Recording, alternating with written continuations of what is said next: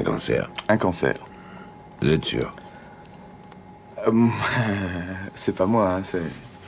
C'est le Sherlock qui a dit ça, et en tout cas, c'est un cancer. Qui le? Le Sherlock, le, scanner dans lequel vous êtes euh, passé. Ah, Voilà. C'est ce que nous dit le Sherlock.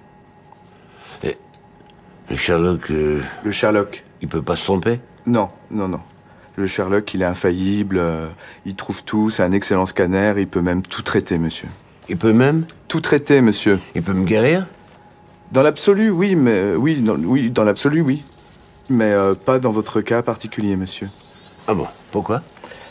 Et, et- et ben parce que, euh, eh ben, si vous voulez qu'on soit concret, on, on peut rentrer dans les détails, monsieur. Et, et ce que je vois de votre votre situation financière, c'est que vous avez une toute petite pension, hein, vous touchez le RU, Hmm. vous avez pas d'argent de côté, d'accord J'ai travaillé quand même. Oui, mais pas assez, monsieur. Du moins pas, voilà. Et, euh, et du coup, vous avez également une toute petite mutuelle. Et cette mutuelle, elle prend en charge le diagnostic, mais elle prend pas en charge le traitement. Voilà. Ah ben, dis donc. Donc, euh, va falloir qu'on envisage ensemble d'autres solutions.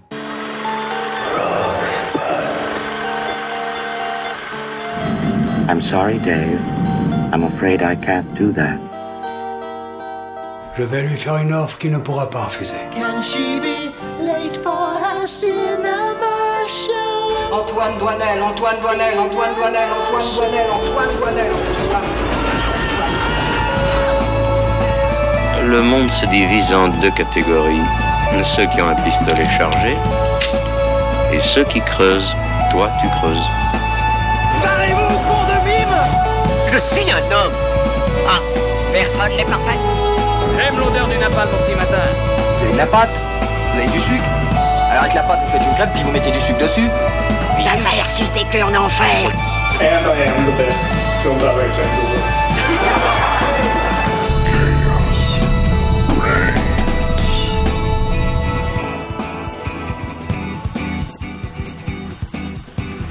Et bonsoir tout le monde Je suis très heureuse d'animer cette émission en votre présence. Une pour un- émission. Oui, une émission, c'est mon petit grain de la journée.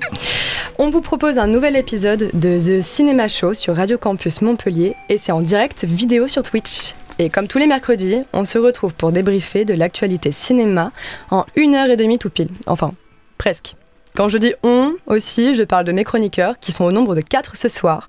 On va commencer par toi Hugo, on ne te présente plus. Enfin, attends, si- d'ailleurs, parce que moi je sais pas tout de toi. Ok. Par exemple, euh, bah, c'est quoi ta boisson préférée par exemple? L'eau, c'est bien, c'est bon l'eau. Ah ouais? L'eau gazeuse. L'eau gazeuse. Gazeuse. Ouais. Sam, bon, bon d'accord. Euh, bah, Romane, enchantée, je suis ravie de faire ta connaissance autour de ces micros ce soir. Moi. Et j'espère que tu as une boisson préférée mieux que l'eau. La bière. Ah, ça c'est une belle proposition. ouais. en tout cas, bienvenue. Et on passe à mon cher Maxime. Histoire de surpasser Simon ici présent, pourrais-tu nous faire une de tes meilleures blagues pour enjoliver, pour enjailler cette émission? Une blague Ouais, Elle n'a pas de chance. Les deux, les deux premiers devaient dire une Moi, boisson. j'ai vraiment, j'ai pris blague. 30 secondes pour réfléchir à une boisson et tu me demandes une blague maintenant. Ouais, c'est Oh là là. c'est la Euh, surprise. Le problème, c'est que j'ai que des vannes euh, noires et au fait, euh, j'ai peur qu'on se fasse cancel par Twitch, donc on va éviter les Non, mais vannes. on va rester aux boissons. Les boissons, ouais, c'est pas mal. ouais, les boissons, allez. Euh, un petit 7-up, en vrai. Ça marche. Simon, allez, soyons gentils. Euh, pff, bon, un petit, un petit coca. Non, du thé, du thé. J'adore le thé. Ouais, ça Le le, thé Ah ouais, le thé. Bon. À l'anglaise avec une Ouais. lichette de lait. Classique, quoi. Ouais. ok, je suis classique si tu veux. ouais. Bon, en tout cas, on fait aussi des coucous à la régie, Yanis, Ambre. J'espère que vous allez bien. Alan, je ne sais pas du Non, tout si tu gères la là. lumière. Il Allez, barré. ça marche, il ne gère pas barré. du tout. C'est un gros bâtard. Super, c'est pas moi qui l'ai dit. Voilà. C'est moi qui l'ai dit, je, le- je le, je le Il redis. J'assume. De toute façon, j'assume. t'es enregistré, voilà. On fait aussi un grand coucou et un grand merci à notre invité spécial d'aujourd'hui. C'est Véronique Laurent, qui nous suit depuis un moment et on lui fait un bon coucou. Et on espère que cette émission te plaira. Ce soir, on va commencer par une scène de Stéphane Casting, donc euh, bah, qu'on va pas mal parler ce soir. Vous l'avez peut-être probablement déjà vu. On parle souvent des films, mais qu'en est-il des courts-métrages? Celui-ci était nommé Panthéon Discount, qui est sorti en 2016. Ça faisait partie de la sélection César 2018. Waouh, ça date tellement que j'en ai bégayé. Ça nous plonge en 2050, à l'ère d'une médecine remplacée par la machine, enfin plus précise, Waouh Plus précisément, le Sherlock. Je crois que vous sentez mon émotion monter. La médecine, 2050, tout ça, terrifiant. Un goût de dystopie que nous retrouvons dans plusieurs films cette année sur les grands écrans d'ailleurs. Trois films seront au programme dans nos débats aujourd'hui. How to Have Sex de Molly Manning Walker, Hunger Games, La balade du serpent et de l'oiseau chanteur de Francis Lawrence, ainsi que Vincent doit mourir de Stéphane Castang. D'ailleurs, ce fameux Stéphane Castang, ce monsieur réalisateur, sera d'ailleurs en notre compagnie dans notre partie invitée. Les recos de l'équipe seront aussi au programme, tout comme le quiz écrit par Marie et Raph, on leur fait coucou, qui sera aussi assuré ce soir par Simon. Et on vous prévoit une petite surprise, mais je n'en dis pas plus. Nous aurons également deux invités en chair et en os, Benjamin Tedesco et Fabien Bécourt, qui viendront nous parler d'une séance de La Tresse au cinéma Jean-Claude Carrière de Bédarieux. Ça se passera samedi, mais Maxime vous en parlera plus. Et comme on a l'habitude, on commence tout de suite avec nos fameuses news, préparées avec soin cette fois-ci par Maxime. On t'écoute juste après le top. Now, Buffalo's number one news team. Good evening and welcome to Eyewitness News at 6. I'm Susan Ortega. And I'm Evan Baxter, and here's what's making news. Et on ouvre le mercato des news de la semaine par un méchant coup de Trafalgar entre deux grands acteurs américains. Absolument, ce coup de couteau dans le dos, il a été reçu par Vin Diesel. En effet, ce dernier convoitait un rôle depuis le début des années 2000. La star de Fast and Furious souhaitait incarner le célèbre Hannibal Barca, général des armées de Carthage, dans une série de trois films réalisés par Antoine Fuqua. Cependant, ce dernier s'est fait piquer sa place par un acteur ayant beaucoup travaillé avec le passé par Antoine Furca. Antoine Fuqua, pardon, à savoir euh, Denzel Washington. Il est intéressant de noter qu'en 2013, à l'occasion de l'inauguration de son étoile sur Hollywood Boulevard, Vin Diesel avait demandé au micro d'Allociné si cet honneur n'intervenait pas trop tôt dans sa carrière, car, je cite, Je n'ai même pas encore pu tourner ma trilogie sur Hannibal Barca. Une réaction sur cette trahison? Ah Bah le pauvre, du coup, euh, il l'aura pas tourné. Waouh, merci Simon. Je, précise, euh, la- phrase. la- les, les films normalement sont, sortis, sont censés sortir sur Netflix. Voilà.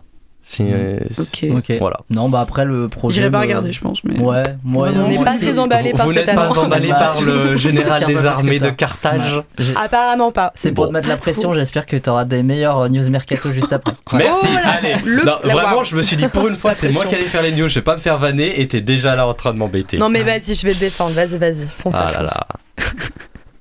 Bon bah du coup bah on- je vous propose de continuer ce mercato de la semaine avec une succession d'échecs au sein des studios Marvel. Eh Entre l'échec fulgurant de Ant-Man et la guêpe Quantum Mania, l'échec stratosphérique de The Marvels et les poursuites judiciaires interplanétaires, non quand même pas, euh, à l'encontre de Jonathan Majors pour violence domestique, on peut sûrement se dire que le MCU est bien au fond du gouffre. Eh ben non, ils vont continuer à creuser encore plus loin dans le puits de l'échec puisque le réalisateur euh, Daniel Cretton, en charge du prochain Avengers The Kang Dynasty, a tout simplement décidé de quitter le projet. Son départ fait suite au renvoi du scénariste du même film, Jeff Loveness, qui avait été écarté du projet après l'échec cuisant du dernier Ant-Man dont j'avais précédemment parlé. Alors certes, le prochain Avengers n'est pas prévu avant avril 2026, mais ce départ est-il selon vous le reflet de l'échec colossal qu'est la phase 6 du MCU depuis déjà de nombreux films? Moi je pense que la question elle est vite répondue. Bah, ouais. C'est la phase 6 C'est bah normalement oui c'est enfin de le Kang Dynasty normalement ce sera la Ah phase ouais. 7 mais on voit déjà que là en ce moment on est en pleine phase 6 Ah, et on est en phase 6, je crois. ouais, et là c'est encore en phase 5. non mais- non non non la phase 5 Après, tu vois, c'était la phase qui était encore passable. Dans les cancers, c'est pas plus la phase elle est élevée, plus c'est. Ouais, Voilà. ouais, bah, là, eh ouais, bah, non. Mais voilà. généralement, phase 4, c'est phase terminale. Et là, en l'occurrence, là, Ouais, on mais- est déjà bien, bien terminé. Ouais. C'est le problème Bon, du MC bah, en ce moment. Top hein. Je vous propose de terminer ce petit mercato avec le retour d'un chat bien connu au cinéma. Ouais, le retour d'un chat fan de lasagne qu'on n'avait pas vu dans les salles obscures depuis 2006 a été annoncé il y a quelques jours. En effet, un film d'animation Garfield va voir le jour et est prévu pour 2024. Euh, dans la version originale, on retrouvera le fameux acteur que visiblement on colle en doubleur par défaut aux USA quand on n'a pas d'idée pour faire les voix. J'ai nommé Chris Pratt. Voilà. Oh. Visiblement, Yes. ils n'ont pas compris la leçon avec Super Mario et c'est pas comme si une série animée existait déjà depuis 2008 avec des doubleurs dont c'est le métier. Euh, hormis ça, on pourra apercevoir d'ailleurs dans le film le père de Garfield, on sait pas pourquoi, qui d'ailleurs lui sera interprété en VO par Samuel L. Jackson, comme quoi ça paye plus bien assez qu'avant le MCU. et visiblement, la distribution du film est déjà bien détaillée sur Wikipédia, ça va vraiment devenir un véritable multivers avec Bill Murray ou encore John Cena dans les doublages en VO. Est-ce que vous avez des réactions Bah, j'espère qu'en VF, on aura le droit à Koé à nouveau. Ah bah Oh non, non. merde. Non, non, merde. non, non, non, merde. non, non, non. non, C'est j'ai- pas Là, il y a trop des trop le sujets moment, évités je et des crois. sujets Oh, évités. merde. Attends, parce que- Ah, non, non, non. Sur Twitter, il y a des gens qui le réclament premier degré. Je Ah sais ouais pas comment c'est possible, mais euh, Alors comme quoi. faut- après, je tiens à dire, euh, je l'ai vu passer tout à l'heure aux infos. Koé euh, Tu la- l'as- L'émission de Koé Oui. sur énergie était annulée. Je viens de voir aussi. Voilà. Ouais. Il a plus d'émission. Eh, premier sur l'actu. Euh, on se croirait chez Morandini là. Ah merde, encore. Oh, un mec, non, encore non, ah, ah, cancel. Juste, euh, Bill Murray, c'est lui qui faisait d'ailleurs la voix de Garfield dans les, le précédent film en live action. C'est peut-être pour ça qu'ils l'ont repris. C'est bien possible, mais dans ce cas-là, c'est pas lui qui fait la voix, c'est Chris Pratt. Ouais, mais peut-être qu'il y aura, comme tu l'as dit, un multivers de Garfield. Alors, il y aura différents Oh. Garfield. Oh là là. J'ai trop hâte. Non, je m'en fous de Mon dieu, quelle horreur. Jack, c'était pas foufou, enfin les BD n'étaient pas folles. Non, non, non. Alors, Alors, là, par contre, là, on va pas. Non. On va, Bref. on va éviter de perdre de temps sur des sujets comme ça, mais non, les BD sont incroyables, lisez-les. Ok, la grande nouvelle de cette semaine dans le monde du cinéma, c'est la cérémonie des Césars 2024. La 49e cérémonie des Césars devrait se tenir le 23 février 2024 à l'Olympia euh, et a annoncé la personne qui présidera la cérémonie et succédera à Tahar Rahim. Et cette personne, c'est Valérie Lemercier. L'actrice est un choix évident selon l'Académie, étant donné que Valérie Lemercier a déjà remporté deux Césars de la meilleure actrice dans un second rôle pour les films Les Visiteurs et Fauteuil d'orchestre, ainsi que le César de la meilleure actrice pour son film dédié à Céline Dion, Aline, sorti en 2022. Valérie Lemercier, indissociable du cinéma, toujours selon l'Académie, puisqu'elle a déjà tourné trois fois, puisqu'elle a déjà été pardon trois fois maîtresse de cérémonie en 2006, mais aussi en 2007 où elle a interprété Maldon de Zouk Machine et a, réalisé la fameuse euh, danse euh, présente dans le film Rabbi Jacob, ou encore en 2010 quand elle avait réalisé un tango avec Gad Elmaleh. Euh, en tant que présidente de la cérémonie l'année prochaine, elle ne nous offrira donc pas de nouvelles danses cette année. Mais vous, qu'est-ce que vous pensez de cette nomination? On sait pas, hein, peut-être qu'elle va danser aussi. hein. Ouais, bah normalement le ce, ce rôle-là Oui, c'est oui, plus tu restes apprêté à un truc tu plus professionnel assis. quand même. ouais. Ouf, Canverad, il a bien fait un cosplay de euh, Freddie Mercury. euh, absolument horrible à voir. euh. Ouais. Mais il était, Sérieux pas, pr- il était pas président du Si, non, il c'est quand il était non. président qu'il a fait ça? Attends. Il a été président de Cadmerade, euh, je crois pas. Ah non, peut-être pas. Non, non, non, non, non, je pense qu'il était juste euh, en remettant. Hmm. C'est Euh, possible ça par contre. Bah, ouais, je j'ai pas d'avis spécial sur Valérie Lemercier en tant que présidente des Césars, je sais pas les autres. Moi j'aurais préféré revoir euh, Florence Foresti, parce que vraiment. euh, Je crois qu'elle avait fait présidente, on est d'accord Non, elle avait fait maître de oh, pardon. ouais. C'est Ouais. encore autre chose. C'est vrai, a- C'est compliqué. c'est C'était- tentaculaire le monde des Césars. Tant que, tant que le, le, le César d'honneur, c'est pas une nouvelle fois Michael Douglas, parce que j'ai l'impression qu'il l'a tous les ans, donc euh, voilà. Sinon, je vous propose de terminer ces petites news de la semaine par des opinions politiques qui dérangent. Enfin, certaines plus que d'autres. Ouais, exactement. L'actrice Melissa Barrera, qui interprète le personnage de Samantha Carpenter dans la saga Scream, vient tout juste de se faire renvoyer par la société Spyglass après avoir tenu des propos sur le conflit entre Israël et la Palestine. Sur son Instagram, elle a notamment relayé des articles parlant de génocide et de nettoyage ethnique subi par la population palestinienne, notamment dans la bande de Gaza. Euh, mais je pense qu'il est important de faire un parallèle, par exemple, euh, en complétant cette information et en rappelant que Noah Schnapp, qui joue le rôle de William Byers dans la série Stranger Things, euh, conserve bien son rôle malgré avoir déclaré dans une vidéo avec, euh, avec certains copains qu'il soutient le génocide à Gaza et qu'il trouve que la colonisation est, selon lui, je cite, sexy, au point d'en faire des autocollants hein, complètement. Ce qui me fait poser la question suivante, est-ce que le licenciement aurait été aussi rapide ou y aurait-il eu tout simplement un licenciement si Melissa Barrera avait été un homme Moi, je pense que la Euh, question, elle est vite répondue. Moi je, Ouais. pense, moi je pense aussi par rapport à où tu te situes sur, euh, sur l'échiquier du, du problème parce que là lui il est de l'autre côté non Euh, si on, si on Bah fait lui, il est clairement pro-Israël Voilà, en mode donc, euh, voilà. on, on Moi, massacre moi, les Palestiniens, c'est super bien quoi. plus que le- une question de genre là c'est aussi une question d'opinion euh, politique Hmm. Je suis extrêmement choquée pour Noah Schnapp, vraiment. Ouais, il t'a déçu là. Ouais, vraiment, il a Bah, balancé la vidéo, c'était bah, c'était ce mois-ci, c'était début du mois, il me semble. Vraiment, il Ah, s'est filmé avec ah, ses bah. potes sur YouTube et il a dit Ouais, euh, la colonisation, c'est sympa. Et bah franchement, on préfère Koé finalement. Ah non, ah, Cette émission, vraiment. oh là. C'est le mot interdit. On peut pas, on peut plus. On va, Bon, on va sur vraiment ce- se faire cancel. hein. Sur ce petit malaise instauré par Simon, Ah, mais euh, on va terminer ces petites news très vite avec une interview de Benjamin Tedesco et Fabien Bécourt qui vont nous parler de leur projet.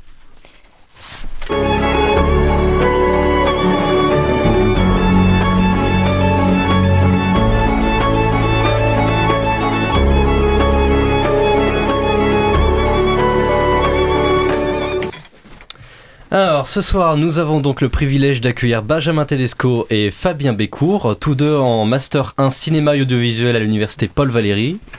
Je me trompe pas? Non, ça va. ouais. Parfait. Euh, qui viennent nous parler de leur projet. Bonsoir à vous. Déjà, comment ça va? Bonsoir, bah ça va, ça va. Ça va, parfait. Un peu stressé, mais en vrai, ça va. Il n'y a pas besoin d'être stressé. Non, franchement, euh, tout ira bien. C'est Tant moi vous qui... n'êtes pas fan de Koé. Voilà. Non, non, non. Le Ah, Koei. Burger, par contre, Oh là là. C'est quoi ça c'est le quick. Il faut un burger, quoi. C'est incroyable. Il est trop bon. Alors, vous êtes venu ici ce soir pour nous présenter votre projet dans le cadre de votre séminaire diffusion. Euh, vous allez donc, à l'aide de trois autres collègues de Master 1 Diffusion, euh, vous allez nous diffuser en avant-première le film La Tresse de Laetitia Colombani, le samedi 25 novembre à 20h30, au cinéma Jean-Claude Carrière à Bédarieux. Euh, de quoi parle le film? J'y vais. Ouais, vas-y. Ouais, Vous pouvez vous mettre d'accord. hein. C'est bon. C'est l'histoire de trois femmes dans trois pays différents. Il y a l'Inde, le Canada et l'Italie. Et elles viennent euh, de classes sociales différentes aussi. Et en fait, on voit leur parcours euh, via des difficultés sociétales qui, qui frappent souvent que les femmes dans ces pays-là. Et comment elles s'en sortent euh, et le gain qu'elles ont sans le savoir et sans se connaître. C'est un peu mal pitché, mais. c'est- Non, mais, non, mais c'est c'est bien résumé en tout cas, il n'y a pas de souci. Euh, pourquoi est-ce que vous avez choisi de projeter ce film? Euh, bah, en fait, de base, euh, du coup, c'était dans le cadre d'un cours euh, de projet de diffusion avec euh, Monsieur Guillaume Boulanger, du coup, qui s'occupait des masters.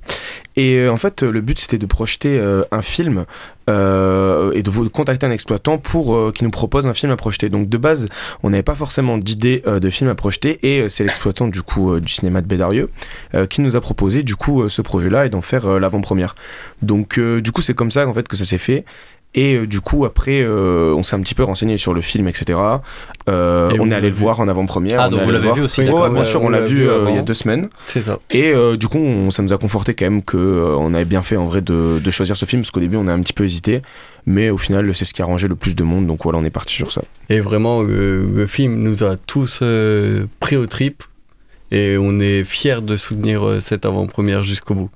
Parce Et- que le film le mérite. Et il vous a pris au trip, c'est- il vous a vraiment plu en, Ouais, en vraiment. ouais Oui, c'est, il est très émouvant et personnellement, je suis vraiment fier de diffuser ce film et de le soutenir pour cette séance.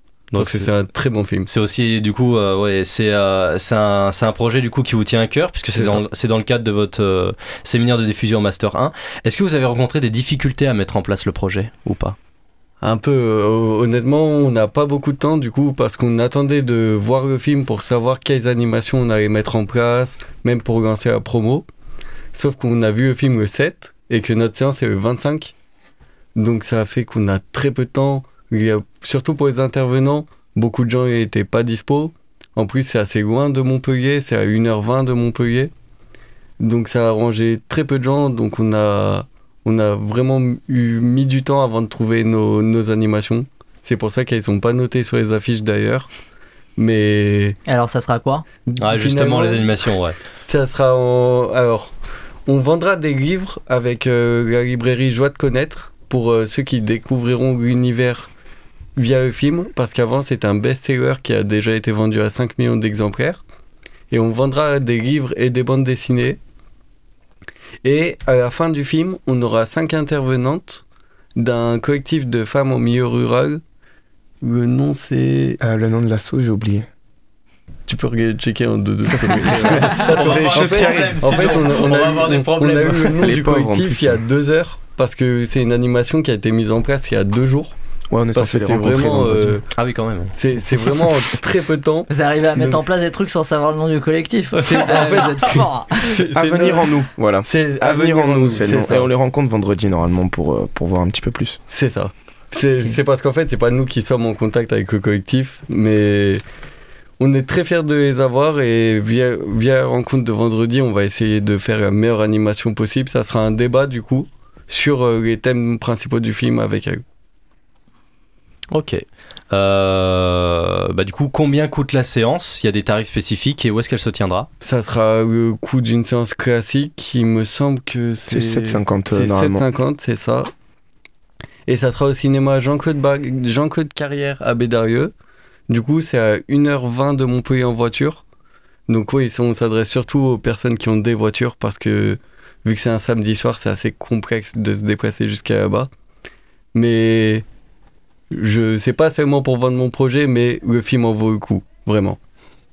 Et du coup, est-ce qu'on peut éventuellement euh, retrouver toutes les informations concernant l'événement? Alors, toutes les informations seront sur le site de l'exploitant, donc euh, cinémabédarieux.com.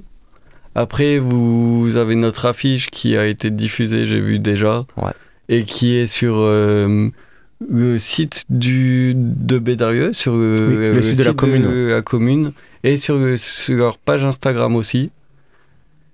Et ça sera relayé par euh, le cinéma dans les jours à venir sur Instagram aussi. Eh bah super. Bah écoutez, nickel. ouais. Eh bah écoutez, merci beaucoup d'être venu. Ah, merci à vous. Merci à vous. Voilà, merci beaucoup d'avoir euh, parlé de votre projet. Puis euh, n'hésitez pas vous euh, à, en faire parler, à, à le à diffuser autour de vous pour euh, Pour qu'il y ait le plus de monde. pour qu'il y ait le plus de monde. Voilà, pour rameuter un max de public, c'est ça. J'ai voilà. l'impression que tu allais nous faire. euh, quand quand tu as commencé à parler, je, je me revoyais quand j'écoute l'extrait de Carlos sur France Ah Bleu oui, quand il est mort. ah non, Voilà. non. On lui souhaite euh, un, un bon courage. Allez. non, évidemment, on, on- on- on espère qu'il y aura beaucoup de monde et que les, les gens, justement, euh, iront voir le film. Voilà, en avant-première. On Merci espère beaucoup. aussi. Euh, Merci à on vous. nous dit Merci sur le chat qu'elle est jolie l'affiche. hein, donc, euh, Ah, Ouais. Ah, merci plaisir. beaucoup. Il y, a, il y a eu du taf. C'est bon, ça C'est fait ça. plaisir. Merci beaucoup Bah, et merci euh, ravi de vous avoir accueilli. Et merci à toi Maxime pour ces news. Merci beaucoup.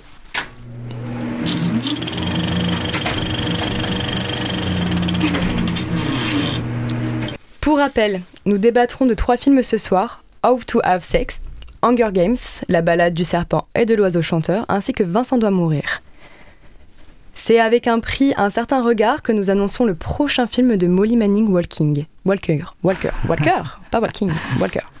Tout de suite, la bande-annonce.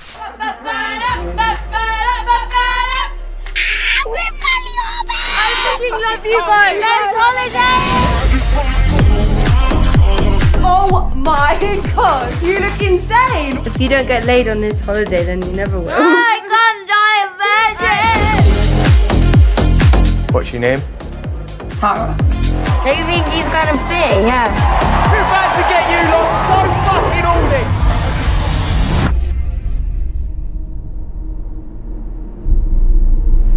This tastes like this. She's with you, no? She not yours? I don't like it.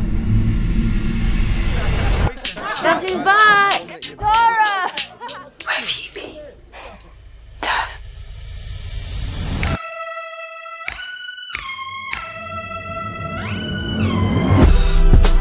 What's the matter with you? I'm just tired.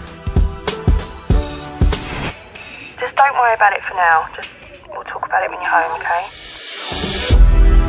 Do you think she's alright? You jealous? I'm not sure you've got much choice at this point. Tara! What happened last night? Tell us. Besties for life, yeah? It's not.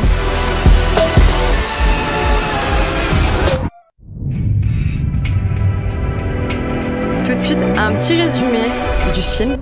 Alors, afin de célébrer la fin du lycée, Tara, Sky et M s'offrent leurs premières vacances entre copines dans une station méditerranéenne super fréquentée.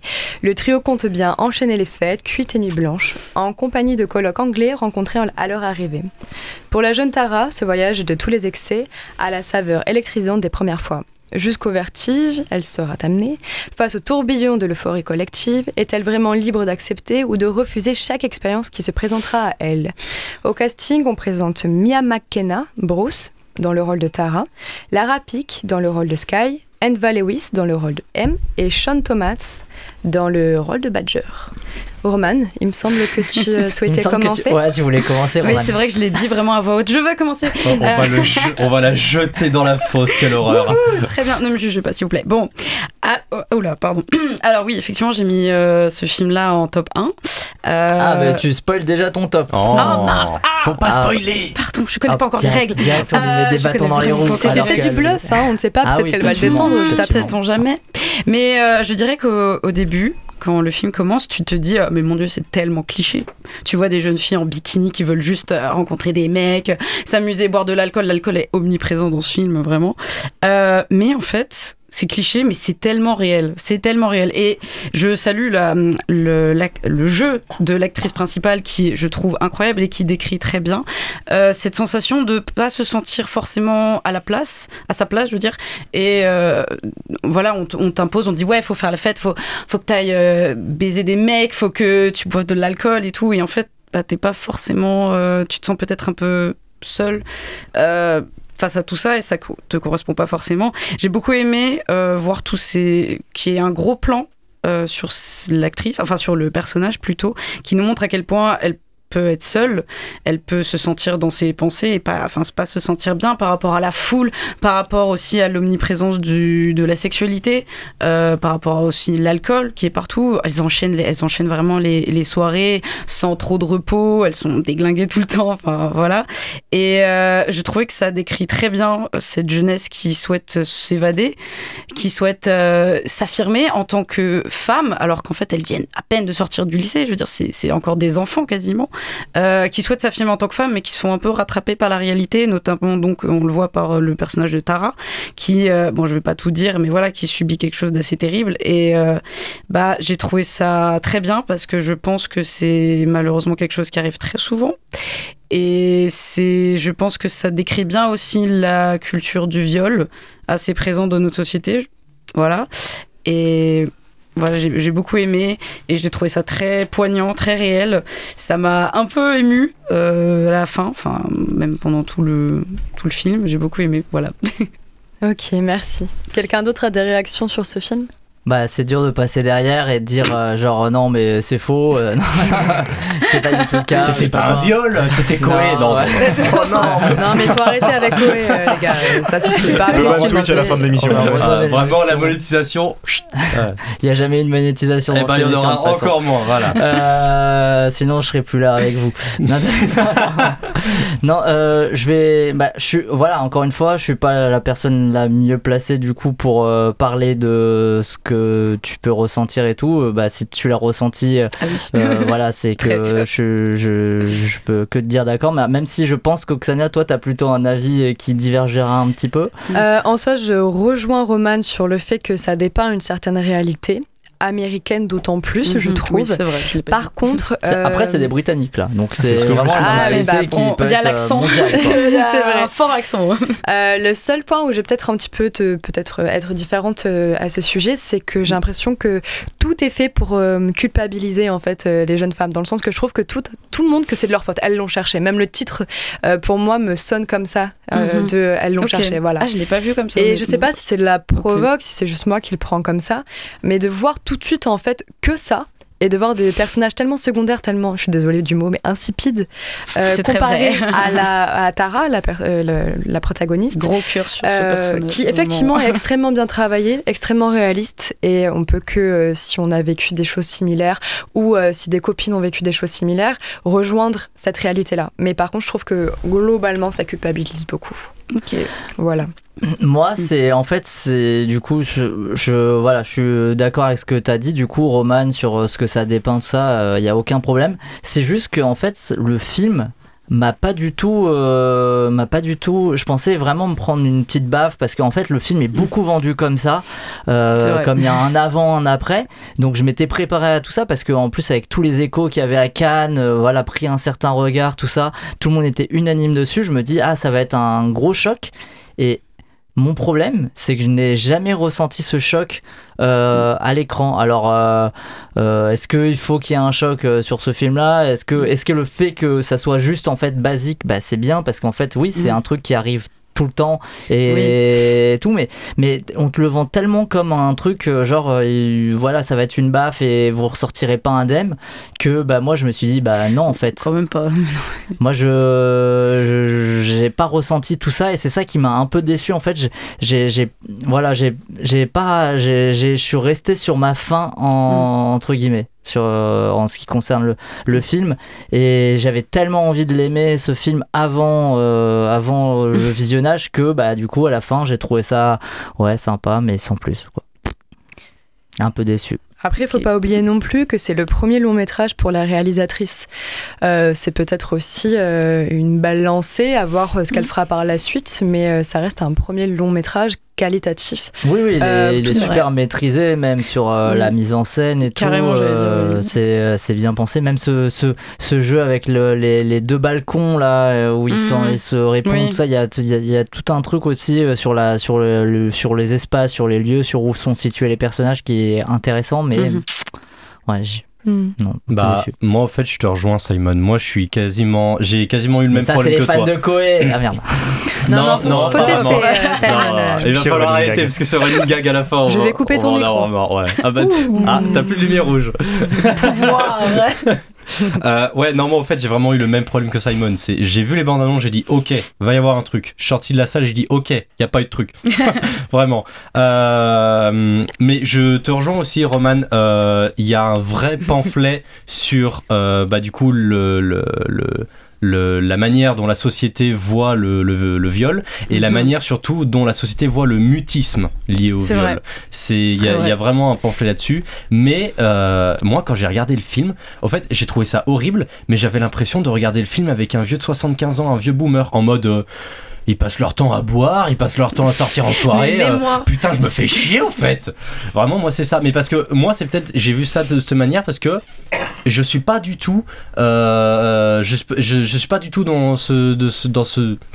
C'est horrible, mais je suis Pas, du tout un violeur. euh. non, non. Alors oui déjà, mais je suis pas du tout au fait ce, ce genre de jeune. Moi, je vais très peu en soirée, je bois pas du tout l'alcool. Donc c'est peut-être ça aussi qui a un peu gêné le, le fait que j'ai pas du tout vu le film de cette manière. Euh, et c'est pour ça aussi que j'ai vraiment eu du mal avec le film. Les acteurs jouent très bien, il y a Ouais. pas de souci. Mais moi, j'ai vraiment eu du mal à me plonger dans le film. Et pour moi, au fait, je suis sorti à la séance et je me suis dit. Ouais, j'ai vu un film, c'est sur le thème du viol, c'est très beau, mais l'histoire me fait chier. Voilà, clairement. Bon, bah, top. Euh, des choses à rajouter ou nous passons Bah, à nos Hugo, pro- Hugo, j'ai pas parlé depuis le début. C'est qu'il Hugo. se fait Euh, tellement lyncher, j'ai failli t'oublier. Hugo. Euh, non, bah en fait, ouais, moi je, je suis toujours, ouais, je suis un peu mitigé parce que j'ai l'impression en fait que le film m'a intéressé que sur, ces dernières 30 minutes, quand il se passe vraiment quelque chose de- d'intéressant. Alors, du coup, c'est des bonnes dernières 30 minutes, j'étais vraiment dedans et tout, et j'ai vraiment failli lâcher des larmes à un moment. Mais euh, avant ça, j'étais là, oui, bah, c'est des personnages, ils sortent et tout, oui, bah, c'est. J'avais l'impression que le, film me rappelait une évidence en fait. Et, euh, et à la fin, c'est une évidence aussi, mais c'est une évidence qu'il faut rappeler qu'il est important de mettre sur la table. Et du coup, c'est pour ça que j'étais pleinement dedans en fait. Hmm.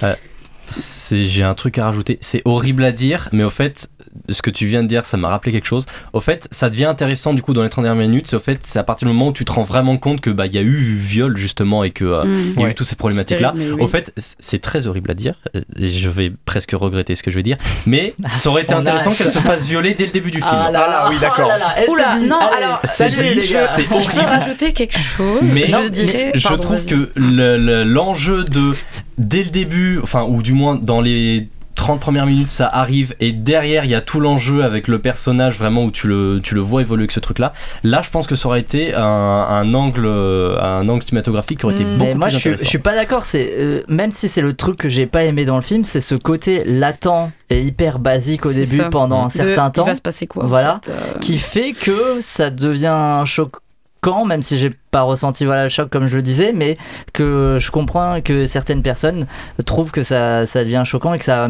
ça met un impact et que c'est en fait ouais c'est l'ordinaire quoi. Voilà c'est euh, c'est un là ça traite du viol mais le viol vraiment ordinaire et Mm, euh, ça. et, et du fait que bah oui ça, voilà ça existe parce que c'est ordinaire et c'est ça qui est dégueulasse quoi et, et c'est ça qu'elle veut montrer je pense la réalisatrice Et donc ça aurait pas, ça aurait pas fonctionné de la même façon. Ouais, si ça aurait pas été de si la même C'était quelque manière, chose de euh, déclencheur à l'intrigue, je pense. Moi, je pense que j'aurais préféré Non, le film comme ça.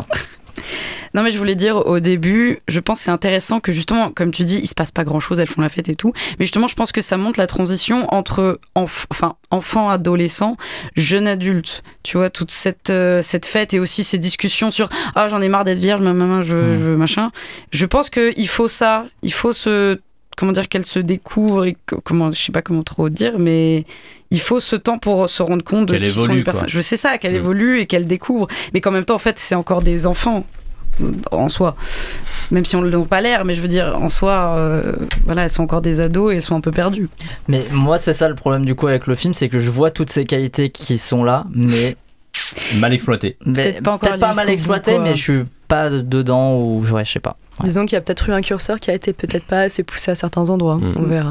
Bah, Mais moi, j'ai vraiment adoré par rapport au personnage de Tara. Vraiment, je me suis tellement euh, retrouvée en elle et vraiment, je pense que c'est ça qui m'a fait mis number one parce que je l'adore vraiment. C'est surtout par rapport à la bande-annonce, en fait. Euh, ouais, avec, bah, de toute façon, avec Simon, on est d'accord. ouais. Euh, sauf sur le fait qu'elle aurait dû se faire violer plus tôt. allez. Oh Passons, passons, nous avons d'autres films. Ah, au moins, on ne parle pas de quoi, c'est déjà bien. après euh, How to Have Sex, on passe d'une réalité à une science-fiction. Enfin, c'est ce que je vous propose. Enfin, plutôt d'une saga à un préquel. Enfin, ça s'oppose pas forcément non plus. Enfin, bref.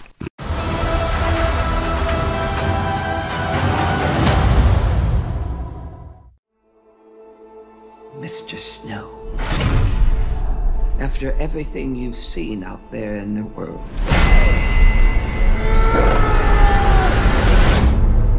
what are the Hunger Games for?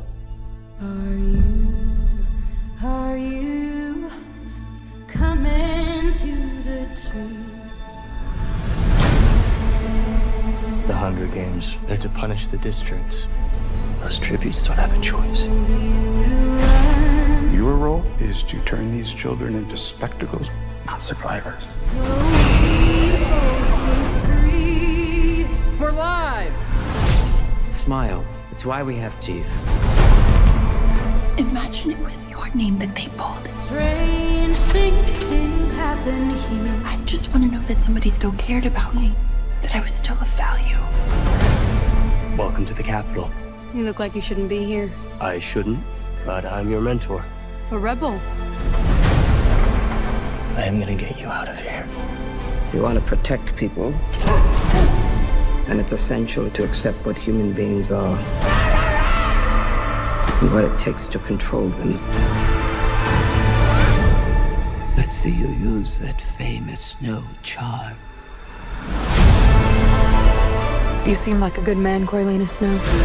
I've seen what war does to people. Fueled with the terror of becoming prey. See how quickly we become predator?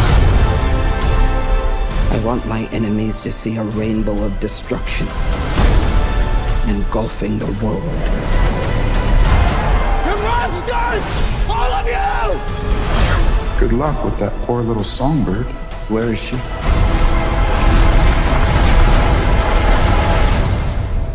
It's a mystery. And mysteries have a way of driving people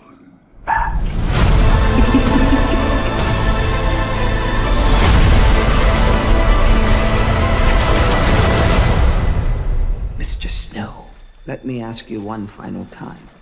What are the Hunger Games for? Hanging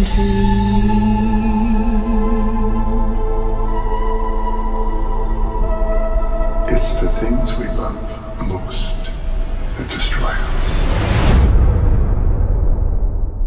Alors, on vous présente ainsi Hunger Games, la balade du serpent et de l'oiseau chanteur de Francis Lawrence. Petit rappel de, de l'histoire. Le jeune Coriolanus, excusez-moi de ce, ce mot, je m'en fais toujours pas. Euh, c'est le dernier espoir de sa lignée. La famille Snow, autrefois riche et fière, est aujourd'hui tombée en disgrâce dans un capitole d'après-guerre. À l'approche des 10e Hunger Games, il est assigné à contre-coeur à être le mentor de Lucy Greybird. Une tribu or- or- waouh, originaire du district 12, le plus pauvre et le plus méprisé de Panem. Le charme de Lucy Gray ayant captivé le public, Snow y voit l'opportunité de changer son destin et va s'allier à elle pour faire pencher le sort en sa faveur. Luttant contre ses instincts, déchiré entre le bien et le mal, Snow se lance dans une course contre la montre pour, bon, survivre et découvrir s'il deviendra finalement un oiseau chanteur ou un serpent. En tout cas, je ne veux pas finir cette fin. Ça va très bien se passer. Je vous présente très rapidement le casting. Tom Blitz dans le rôle de Coriolanus, Rachel dis. Lucy Greybird, Peter Dinklage dans Casca High Bottom et Jason Swartham dans le rôle de Lucretius. Sortez-moi Ouais. de cet enfer verbal. Simon, tu as peut-être un avis. Euh, ouais, je vais commencer par euh, Dame Dame qui dans le chat nous dit c'est quoi ce film encore? Un reboot où je comprends pas l'intérêt?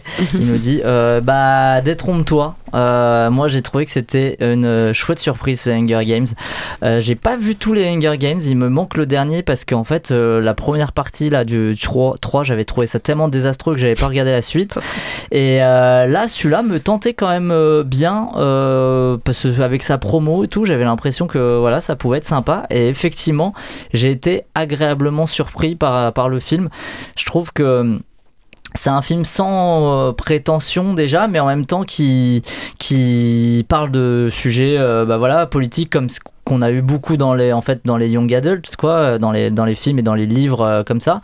Et, et je trouve que ça fait du bien parce que dans l'industrie hollywoodienne, bah, en vrai, on parle pas souvent politique. Là, ça parle donc de l'industrie même du spectacle, du fait de se faire de l'argent sur, sur des tueries, des trucs comme ça. Et donc, je trouve ça super intéressant. Et puis, j'ai été euh, vraiment surpris par euh, déjà l'interprétation de bah, Tom Bliss. Je trouve vraiment très bon.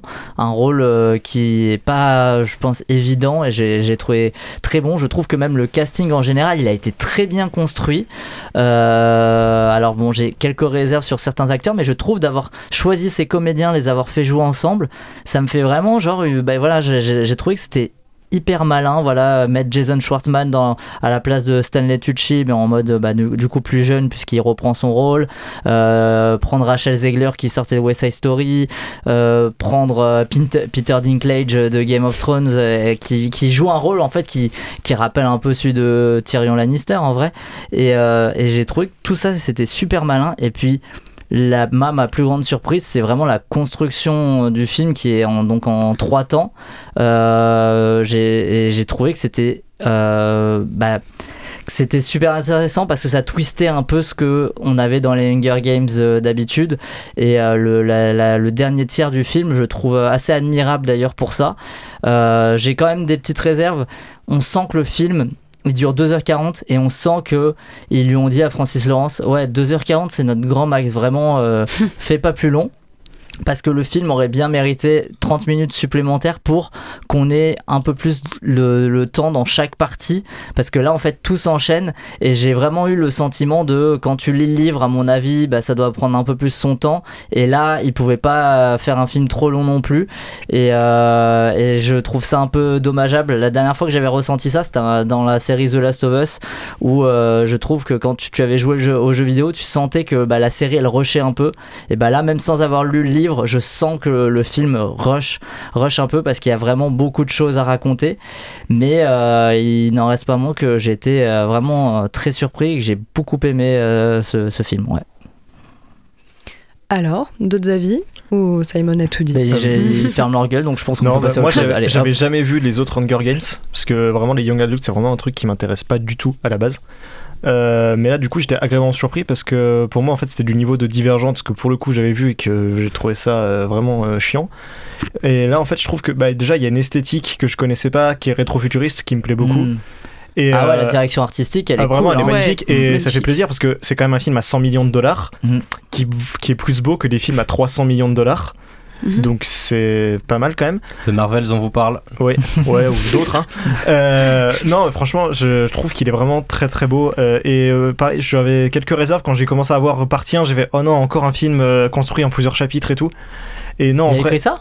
De, de quoi? Il y a écrit partie 1 Oui, il y a vraiment partie. Il y a Ah, non, pendant, ah, pardon, pendant le film, pardon. Oui, voilà, je pensais il y a que tu parlais oui, c'est euh, vraiment le film. très- Oui, oui, oui, il y a des chapitres. Et j'ai ouais, fait, ouais. oh non, encore un film qui est construit en chapitré, euh, c'est c'est quoi ces nouvelles modes Et en fait, non, je trouve que ça a du sens, surtout quand on voit la troisième partie qui limite un autre film. Je pense qu'à la base, ils voulaient peut-être faire une trilogie et qu'ils se sont rendus compte que ça faisait peut-être un peu trop. Bah, je, je pense qu'il Francis Lawrence Mm. disait en interview que en fait euh, il avait finalement il regrettait d'avoir découpé le dernier Hunger Games en deux parties Ouais. et euh, d'avoir fait deux films et parce que c'était le moment où on faisait ça comme ça ça faisait rapporter plus d'argent là cette fois il s'est donc limité à ce film là et c'est c'est ce que je disais je pense qu'il aurait c'était bien de se limiter à un film mais peut-être un peu plus long ça aurait ça aurait, Pourquoi été, pas, ouais. ça aurait été sympa quoi Ouais, non, après, euh, ouais, et j'ai. J'ai un peu des réserves quand même sur le personnage de Rachel Zegler parce que je trouve qu'elle se fait un peu traîner par le scénario. Je trouve en fait qu'elle sert juste l'évolution de Coriolanus Snow et, euh, et, ben, et c'est tout. Je suis d'accord, mais je trouve qu'elle a c'est un moment de gloire quand même dans le dernier tiers et euh, je trouve que son personnage, bah, bon, on spoil pas, mais mais euh, mais il y a un truc de d'assez fort sur son personnage euh, à la fin. Je Oui, ouais, mais pendant tout le reste du film, j'ai l'impression que sert le personnage, ce qui est pas, ce qui est un peu le contraire de ce qu'on essaie de nous raconter. Donc euh, c'est un peu, un peu bizarre, non Mhm. Et oui, après il y a un casting. bah, J'aime beaucoup le personnage de Jason Schwartzman. voilà, il est génial. Vi- Viola Davis, je, je- on sent qu'elle allait tirer vers. Vers son personnage d'Amanda Waller et du coup ça marche trop bien. Mais, mais, mais moi, je, moi j'aimais, je disais, j'avais des doutes, c'était sur Viola Davis en vrai. Je trouve qu'elle en fait des caisses. Ah, mais Elle en fait beaucoup trop. C'est c'est l'âme de Hunger Games, je pense, un peu. Mais oui, mais sur le personnage de Jason Schwartzman, donc le présentateur, euh, qu'il en fasse des caisses, je, je comprends. Il mais ressemble tellement à Viola l'acteur Davis, euh, Non, mais je, je, je comprends. Ouais, non, moi, je- moi ça je croyais que ça fonctionnait quand même. Mais euh, non, non, euh, moi, je connaissais pas du tout et maintenant, ça m'a donné envie de découvrir les autres. Donc, euh, Mm. bah, c'est aussi peut-être un peu le but du film euh, en sortant des années après, c'est de dire, Ah, vous savez, il y avait ça avant. euh, allez voir. D'autres avis? Est-ce que certains d'entre vous ont regardé peut-être les films? Parce que je reprécise que c'est- c'est- ce film-là, du coup, a été tiré du roman de Susan Collins qui est paru en 2020. C'est assez short comme timing entre. Ils avaient commencé en fait, ils avaient commencé à préparer. euh, ils savaient que Susan Collins allait faire un préquel à Hunger Games et donc ils avaient déjà commencé à travailler euh, même quand elle n'avait pas encore fini son roman, je crois. Hmm, donc euh, ça a été fait en parallèle. Ouais. D'autres avis? Euh, moi, si je peux peut-être rajouter un petit peu. euh, Mais avec plaisir, rajoute, rajoute. mon, mon avis euh, nuancé parce que moi pour le coup alors j'ai bien aimé le film aussi il n'y a pas de souci je j'irai pas jusqu'à chier sur le film ça c'est clair Euh, mais C'est vrai que ça serait violent. non ouais mais j'ai quand même mes petites réserves euh, parce que euh, bah au fait moi le problème c'est vraiment la troisième partie le- le- la fin D- toi t'as dit euh, au moment où t'as dit il aurait fallu 30 minutes de plus j'ai dit mais il est malade Mais j'ai vu, j'ai vu que t'as bougé. parce mais- que, au fait, moi, sur la fin, euh, j'ai vraiment senti la construction du film comme étant on fait les Hunger Games, et une fois que les Hunger Games se terminent, il y a le passage dans les districts, etc. Et c'est en mode merde. Euh, c'est vrai qu'on a un lore à nourrir, c'est vrai que c'est un préquel où il faut qu'on explique l'histoire, etc. Où il faut qu'on rajoute l'histoire des personnages, tout ça, ju- jusqu'à ce, s- ce que c'est devenu, etc. Euh, il faut qu'on déballe ça au plus vite. Donc, du coup, on va essayer de condenser ça au plus vite. Et du coup, euh, on a un truc, même en étant très condensé, en ayant beaucoup d'informations sur le lore de, Hunger Games de manière générale, bah moi, en fait, la fin, je l'ai trouvée vraiment, en fait, elle s'éternisait. Mais après, j'ai pas dit les 30 minutes, c'est que pour la fin. hein, Oui, oui, oui, ça, on est d'accord. Moi, c'est surtout pour Mais la. D'ailleurs, pour la première, la deuxième partie. Euh, bah, la première la deuxième partie, en vrai, j'aurais aimé qu'ils se concentrent beaucoup plus sur le Hunger Games dans l'arène. Ça, c'est sûr. Euh, et sur la partie de fin, au fait, Oui, dans mais tu dis ça par rapport aux autres films que t'as vu Hunger Games. euh, j'ai vu que le premier. Je précise, j'ai vu que le premier. Voilà. J'ai pas vu les autres malheureusement. Mais du coup, j'aimerais bien aller voir les autres aussi, juste pour faire le comparatif et aussi revoir un peu le premier, puisque ça date. Et, euh, et, et pour le coup, vraiment, en fait, rajouter 30 minutes, si c'est juste 30 minutes de plus sur le Hunger Games, en vrai, pourquoi pas. Mais si c'est 30 minutes où ils rajoutent encore du contenu dans le district 12, là, j'aurais vraiment trouvé ça vraiment éternisant et j'aurais été en mode, non, là, vraiment, je commence à me faire chier, c'est vraiment long. Parce que je veux bien qu'on rajoute du lore, qu'on rajoute de l'histoire, qu'on rajoute du contenu, qu'on dise ah oui bah du coup ça c'est tel personnage etc. Euh, mais euh, faut pas abuser quand même. Ah, Vraiment. c'est la partie que j'ai préférée, donc c'est celle sur laquelle je voudrais le moins Ah, toucher. Donc, ouais euh, alors ah, bah personnellement, moi. Oui, euh, tu la- l'as pas aimé, j'ai bien non, compris. j'ai Ça va pas- se battre à la j'ai fin de J'ai l'émission, pas, pas aimé, au contraire, j'ai vraiment bien aimé le film, ça y a pas de souci, mais pour moi, ma partie préférée, c'est là où ils se mettent sur la gueule, de toute façon. Eh ben Voilà. c'est vrai. De l'action, c'est vrai qu'il voulait de l'action la semaine dernière. Ouais, la, la semaine dernière, il manquait de l'action. Là, cette semaine, on en a eu un peu. Bon, bah sur ces avis un peu euh, Mais bastonnantes. Roman, on t'a euh, entendu? Ah, non, c'est vrai. Elle, elle- elle- elle a calé deux phrases. Mais non, mais j'allais dire que c'était le cinquième opus de la franchise. Yeah. Mais tu l'as Non, déjà dit, ça. Non, j'ai dit que c'était euh, Ah. une parution euh, littéraire, blablabla. D'abord. Toi, Roman. bah moi quand j'étais euh, c'était au collège hein, je crois. Ouais j'ai regardé les, les films et j'ai lu les livres. Et vraiment bon c'est très adolescent t'es à fond Mhm. dedans. Enfin moi j'adorais.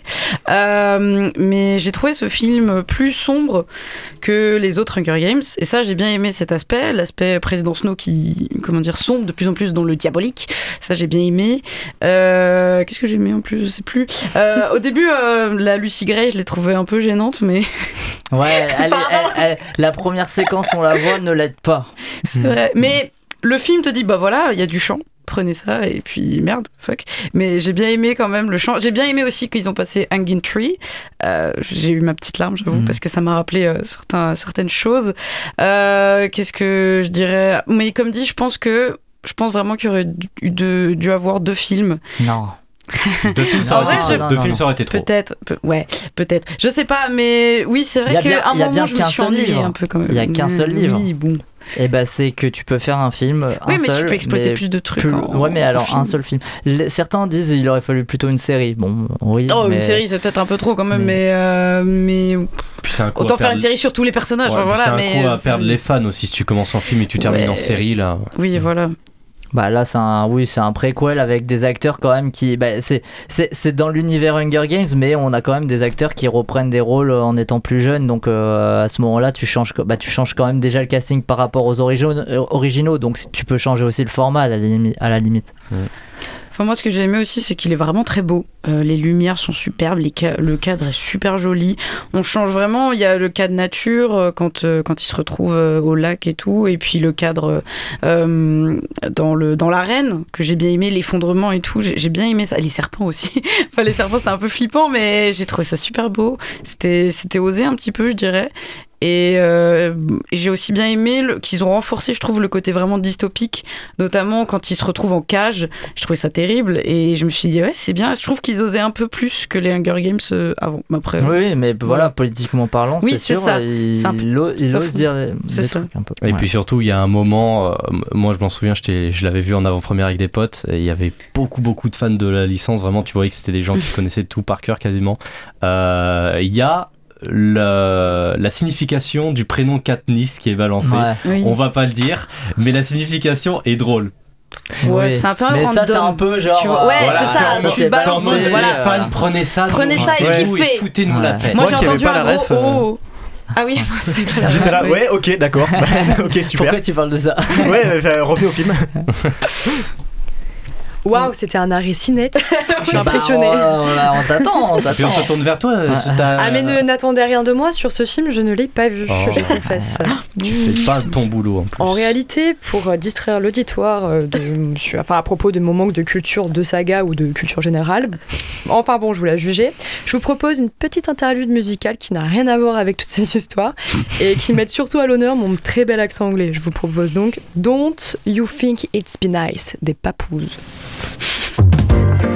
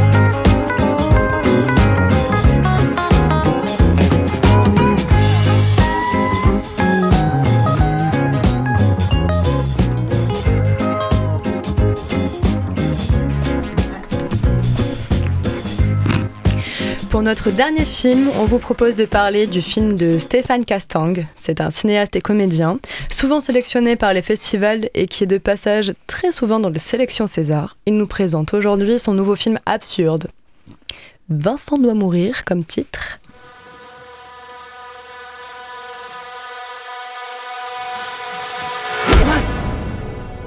J'étais à mon poste de travail et on m'a agressé. Il y a une absence au niveau du regard et ils foncent sur moi. J'ai l'impression qu'il y a un délire autour de moi, quoi. Vous vous êtes senti en colère euh, ces derniers temps? Je pense que vous cherchez l'attention des gens qui vous agressent quelque part. Vous n'êtes pas d'accord avec moi? Ça fait combien de temps pour toi que des gens veulent te tuer? Prends-toi un chien, très important un chien. Livré à toi-même, les hôpitaux, c'est trop dangereux. Personne peut t'aider.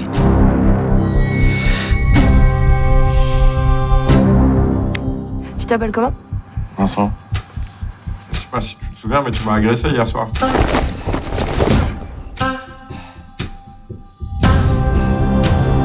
C'est vraiment chelou, toi. hein. Regarde bien, tu regardes ce qui va se passer.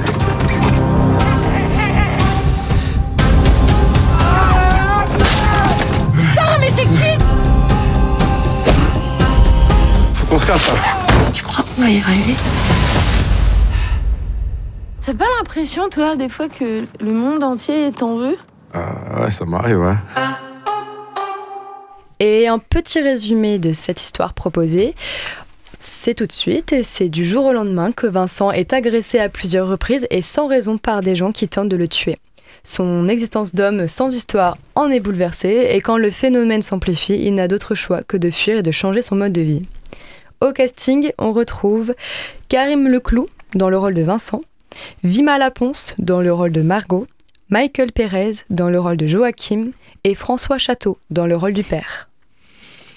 Hugo, il me semble que tu voulais commencer. Ouais, moi je suis plutôt mitigé sur ce film parce que je trouve que le concept est extrêmement ludique. Le concept est. Enfin, on peut s'amuser de fou avec. Et il s'amuse pas assez, je trouve. Euh, Pardon. Non, ok. Pardon, je suis désolée. Non, mais Ah en bah fait, euh, il y avait. euh, je, je- crois que la promo s'est fait un peu sur une scène de horde. Et je la trouve très courte et un peu décevante. Il y a plein d'idées en fait qui sont posées comme ça dans le film, qui, qui durent pas beaucoup. Et du coup, je me suis dit, ah, c'est dommage parce que ça tourne en rond. Du coup, c'est un peu toujours la même chose. C'est il croise le regard de quelqu'un, la personne va l'agresser, et il va l'abattre, et il va passer à autre chose. Et c'est assez, non, c'est assez dommage parce que l'idée est super, euh, super intéressante et c'est ça qui m'a fait aussi, euh, qui me fait garder des points positifs quand même, c'est que le concept de base, c'est vraiment, euh, c'est vraiment une idée forte, mais en fait, il, euh, je trouve qu'il l'exploite pas assez pour, euh, pour aller au bout en fait du concept. C'est vrai que tu nous as quasiment euh, raconté le film en deux phrases, ce qui peut nous interroger grandement Ah. finalement. Je crois que t'as pas trop aimé Oksana, non? si, c'était. Enfin, franchement, la première scène, franchement, je me suis dit, ah, on va se marrer un peu. Bah non. Mais. euh, Mais la scène avec le policier là, au début, mais elle est trop drôle.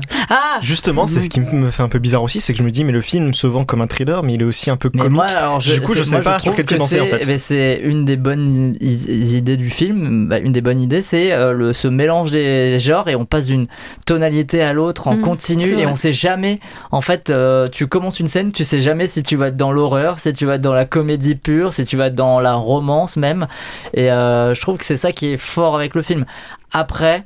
Je suis d'accord avec vous. Je trouve que bah c'est pas en fait ce, ce, ce, ce, ce, ce- ce mix. Si tu veux faire un mix comme ça, il faut être vraiment très très pointilleux. Il faut être euh, faut vraiment être euh, au Mhm. taquet. Et euh, je trouve qu'il est pas tout le temps en équilibre sur ce sur ce tout petit fil qui mélange tous les genres. Et c'est ce qui c'est ce qui fait aussi que pour moi le film il se rate à, à des moments. Mais je trouve quand même que pour une première proposition, c'est quand même super euh, chouette, super intéressant. Il y a plein de belles choses. Et puis le, film, je trouve, qui, comment, bah, qui se termine là où tous les autres films dans, dans ce style-là commencent Mhm. en fait. Et euh, je trouve que c'est assez rafraîchissant du coup. Euh, C'est une histoire comme on le, la voit rarement. Mhm. Et puis ce, tout ce, tout- tous ces mélanges, bah, voilà, m'ont fait euh, quand même adhérer au- à la proposition. Et toi, Maxime, un avis? Euh, alors moi, bah, il y a eu de l'action. Il y a des gens qui se foutaient sur la gueule. Donc euh, pour moi, je suis désolé, mais moi j'ai kiffé le film. Euh, en, en- en oubliant ça, euh, j'ai vraiment bien accroché au film. Déjà, euh, je rejoins complètement euh, Hugo sur le sujet. Le concept est dingue. Le concept, euh, vraiment, euh, il y a énormément de potentiel. Et je rejoins aussi du coup Hugo sur le fait que au début, on voit qu'il exploite bien le concept, mais derrière, après, il l'oublie un petit peu. Au fait, je pense que c'est à partir de l'arrivée du personnage de Margot, au fait, où euh, il a plus tendance à se concentrer sur l'histoire qui est entre Margot et Vincent que sur le concept en lui-même qui est génial. Ouais, c'est pas une Mhm. super idée, ouais. Euh, je dis pas que le personnage de Margot est mauvais, bien au contraire, parce qu'il peut apporter, il- d'ailleurs, il apporte des nouveautés dans justement dans le film, s'il apporte la, la- la- le, le duel entre euh, est-ce que je dois euh, continuer à fréquenter des personnes ou euh, à être euh, solitaire, mais ça. en, en- en enlevant ça, ouais, c'est j'ai énormément aimé le film, même si c'est vrai que le concept perd un peu de ce perd un peu- ouais, perd un peu, bah, pas forcément d'intérêt, mais perd au fait, euh, perd son sens euh, sur, sur la fin du film. Et vraiment, j'ai eu un problème aussi avec la fin du film. Vraiment, la fin du film, elle arrive en mode, euh, Mm. vraiment, Mais il- ouais, mais j'ai c'est ce que l'impression je te dis, j'ai elle l'impression se qu'il là, là, là où tous les autres films Ouais. commencent. J'ai vraiment l'impression qu'en fait, il a terminé le film, il a dit Bah, j'ai pas d'idée pour la fin, alors on va faire ça, et puis voilà, puis démerdez-vous. Euh, mais le concept du film est dingue. Euh, j'ai beaucoup aimé les acteurs, j'ai beaucoup aimé le. J'ai beaucoup Bah, aimé. Karim Leclou, il est trop bon. J'ai beaucoup aimé les, bon, ouais. j'ai beaucoup aimé le jeu de lumière aussi notamment entre les, notamment durant les, les phases nocturnes, Que- Mm. notamment le, le moment où il y a un peu euh, l'anarchie là où euh, où ils ont foutu des flammes euh, Ah. au niveau du tracteur là. Oui, parce que j'allais Ah, dire ça, que oui. niveau light et niveau quali, euh, technique. euh, Non, oui, mais- C'était assez simple. Après, J'ai- après- J'ai pas Oui, aimé, mais je suis assez, assez d'accord. c'est je vais- assez simple. Oksana, je vais dire après en film sur la lumière, bien. on va en parler avec Hugo. Il y a tellement mieux cette semaine. Il y a Oui, c'était assez mieux. sobre, Voilà. c'était pas Mais l'accent. euh, non, j'ai quand même beaucoup beaucoup aimé le film et euh, en vrai, je pense que en faire une série, ce serait dingue. voilà. C'est vrai, c'est totalement vrai. Pourquoi pas ouais. Netflix, si vous avez de la thune. Moi, j'ai Si Voilà. posé la question au réalisateur si euh, le film va être remaké aux États-Unis. C'est trop bien. Et bah, vous verrez la réponse. Oh rester. non. Ah, ce Les- serait ouf. Je en sens que les ricains, ils vont massacrer le concept s'ils font ça. Il y a juste un truc aussi qui m'a gêné, c'est qu'il y a une, quand même une grosse incohérence à partir du moment où je me disais, mais si tu sais que quand tu croises le regard de quelqu'un, euh, la personne veut te tuer, mets des lunettes de soleil juste. Pourquoi t'ouvres les yeux? Ouais, non, mais juste, juste mets des lunettes de soleil. Après, Je sais pas si ça marche. c'est voilà, c'est mais pas c'est ça, c'est que voilà, c'est que cette question n'est pas évacuée, mais du coup, je- on se la pose constamment parce que si c'est pas réglé, pourquoi. Enfin, moi, je, je règle la question, explique pourquoi ça ne marche pas. Parce que du coup, moi, je vais me poser la question constamment. Oui, mais c'est le genre de. Ouais, mais voilà, mais je- dans le cinéma français, on aime bien, tu vois, mettre des, des trucs et Ouais. on répond pas parce que Des c'est pas. est incohérences scénaristiques en mode démerdez-vous. On est au-dessus des réponses euh, que les Américains vont vouloir te trouver un truc scientifique ou je sais pas quoi dans leur film. Nous, en France, on est au-dessus. Toujours. Mais du coup, maintenant, ce film me fera peur des gens qui possèdent un chien qui te grogne dessus. Oh, le chien, il est adorable. Oh, Oui, j'ai le meilleur oui. perso. Non, je l'aime trop. Il joue trop bien le. Oui, le il joue chien. très bien. Mais vraiment, comment ils ont fait Bah, et t'as vu, euh, bah d'ailleurs, euh, sur le générique de la fin, c'est- drôle, euh, dans, dans le, dans le générique final, vraiment, le, le chien est, est mis seul. Tous les acteurs sont mis Non, mais ensemble ça arrive par quand deux. les ou chiens, ils sont importants, ouais. Et le chien, il est genre seul sur la fin. Et c'est le, la dernière, le dernier personnage cité. Sur cette mignonnerie, je vous propose. Mais attends, Roman, on l'a pas encore entendu. À chaque fois, je coupe la parole de quelqu'un. va. Non, mais euh, si je dis pas de bêtises, il me semble que ce film il est porté sur un high concept. Tu sais, c'est le et si ça se passe ça. Et bah, alors le concept est trop cool, vraiment j'ai adoré. Mais pour moi, ils sont pas allés, euh, pas allés aussi loin. Enfin, ils sont. Ils ont dit ouais, il y a ça, et puis voilà. J'aurais bien aimé qu'ils tendent un peu le truc. J'avais l'impression qu'il y avait un peu, une- euh, c'était un peu sous fond de crise sociale, en mode, Mhm. de- voilà, ça fait référence, je pense, aux manifestations, aux grèves. Enfin, moi, c'est dans mon imagination, je me suis dit ça. Et même c'est un Euh, sur la violence. Hein, Ouais, Oui, ça fait- voilà, c'est ouais, ça, Ça c'est fait, ça. ça fait Et- une grosse référence sur l'insécurité aussi Bien de manière sûr. générale. ouais. Ouais, d'ailleurs, Elisabeth Lévy, euh, attention. Mais évidemment, et je trouve qu'ils sont pas allés aussi loin. La fin est un peu brute, je trouve. Et aussi, je me suis pas trop attachée au personnage, désolé. je trouve que euh, je trouve qu'il était très mou et qu'il a un peu du mal. Après, non, mais ça fait ça, partie. Karim, Karim, euh, Justement. Le clou, c'est ça. Voilà, Mais c'est le mais- but du personnage justement. Le personnage, non, il, est, oui. il est simplet. Enfin, je suis désolé. il y a, Oui, il y a son clairement. collègue qui à plusieurs reprises lui plante un stylo dans la main. Le gars, il est en mode. Ouais, Non, bah, je ça pas va, porter quoi. plainte, quoi. Mais oui, mais c'est trop Pas drôle. porter ça. plainte. Mais justement, c'est fait exprès. Son Bah ouais, c'est un personnage, il est le bonnet, il est euh. simplet, mais c'est fait pour. Et euh, la, fi- enfin Margot, je l'ai trouvée, ah, je- peut-être c'était que moi, hein, mais je l'ai trouvée un peu naïve, un peu idiote, j'avoue. Genre j'ai eu un peu de mal, mais Margot? bon, ouais un peu.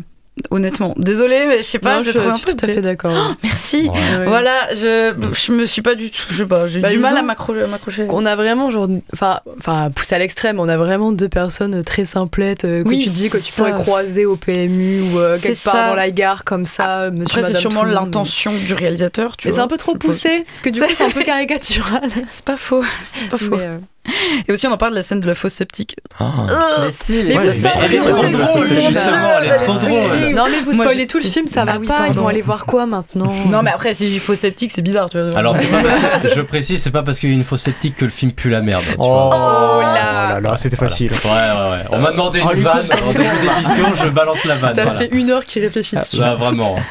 Bon, sur cette euh, punchline de Maxime, je vais enfin placer ma transition euh, pour cette petite interview de Stéphane Capstang. Waouh, j'ai hésité. en, en fait, j'ai- j'aime bien, je te laisse le dire depuis tout à l'heure, mais on dit Stéphane Castan en fait. Excusez-moi, monsieur, en fait. J'espère Bon, bah, qu'il pas pas l'émission. Bah, t'as qu'à être présentateur, c'était pas content. Allez Pardonnez-moi d'interrompre un instant la musique, mais nous avons un invité de marque que j'aimerais accueillir comme il se doit. Cette semaine, c'est le réalisateur, scénariste, comédien et même professeur d'université, Stéphane Castan, qui est notre invité. Bonjour Stéphane, comment vous allez? Bonjour, je vais, je vais très bien. Alors depuis euh, mercredi dernier, on peut retrouver en salle votre premier long métrage, Vincent doit mourir. Vous êtes pourtant dans le métier depuis un certain temps. Qu'est-ce qui fait que ce premier film n'arrive que maintenant? Bah, parce que j'ai fait d'autres choses, euh, tout simplement. Euh, J'étais d'abord euh, comédien au théâtre pendant euh, théâtre public pendant euh, un peu plus de 25 ans.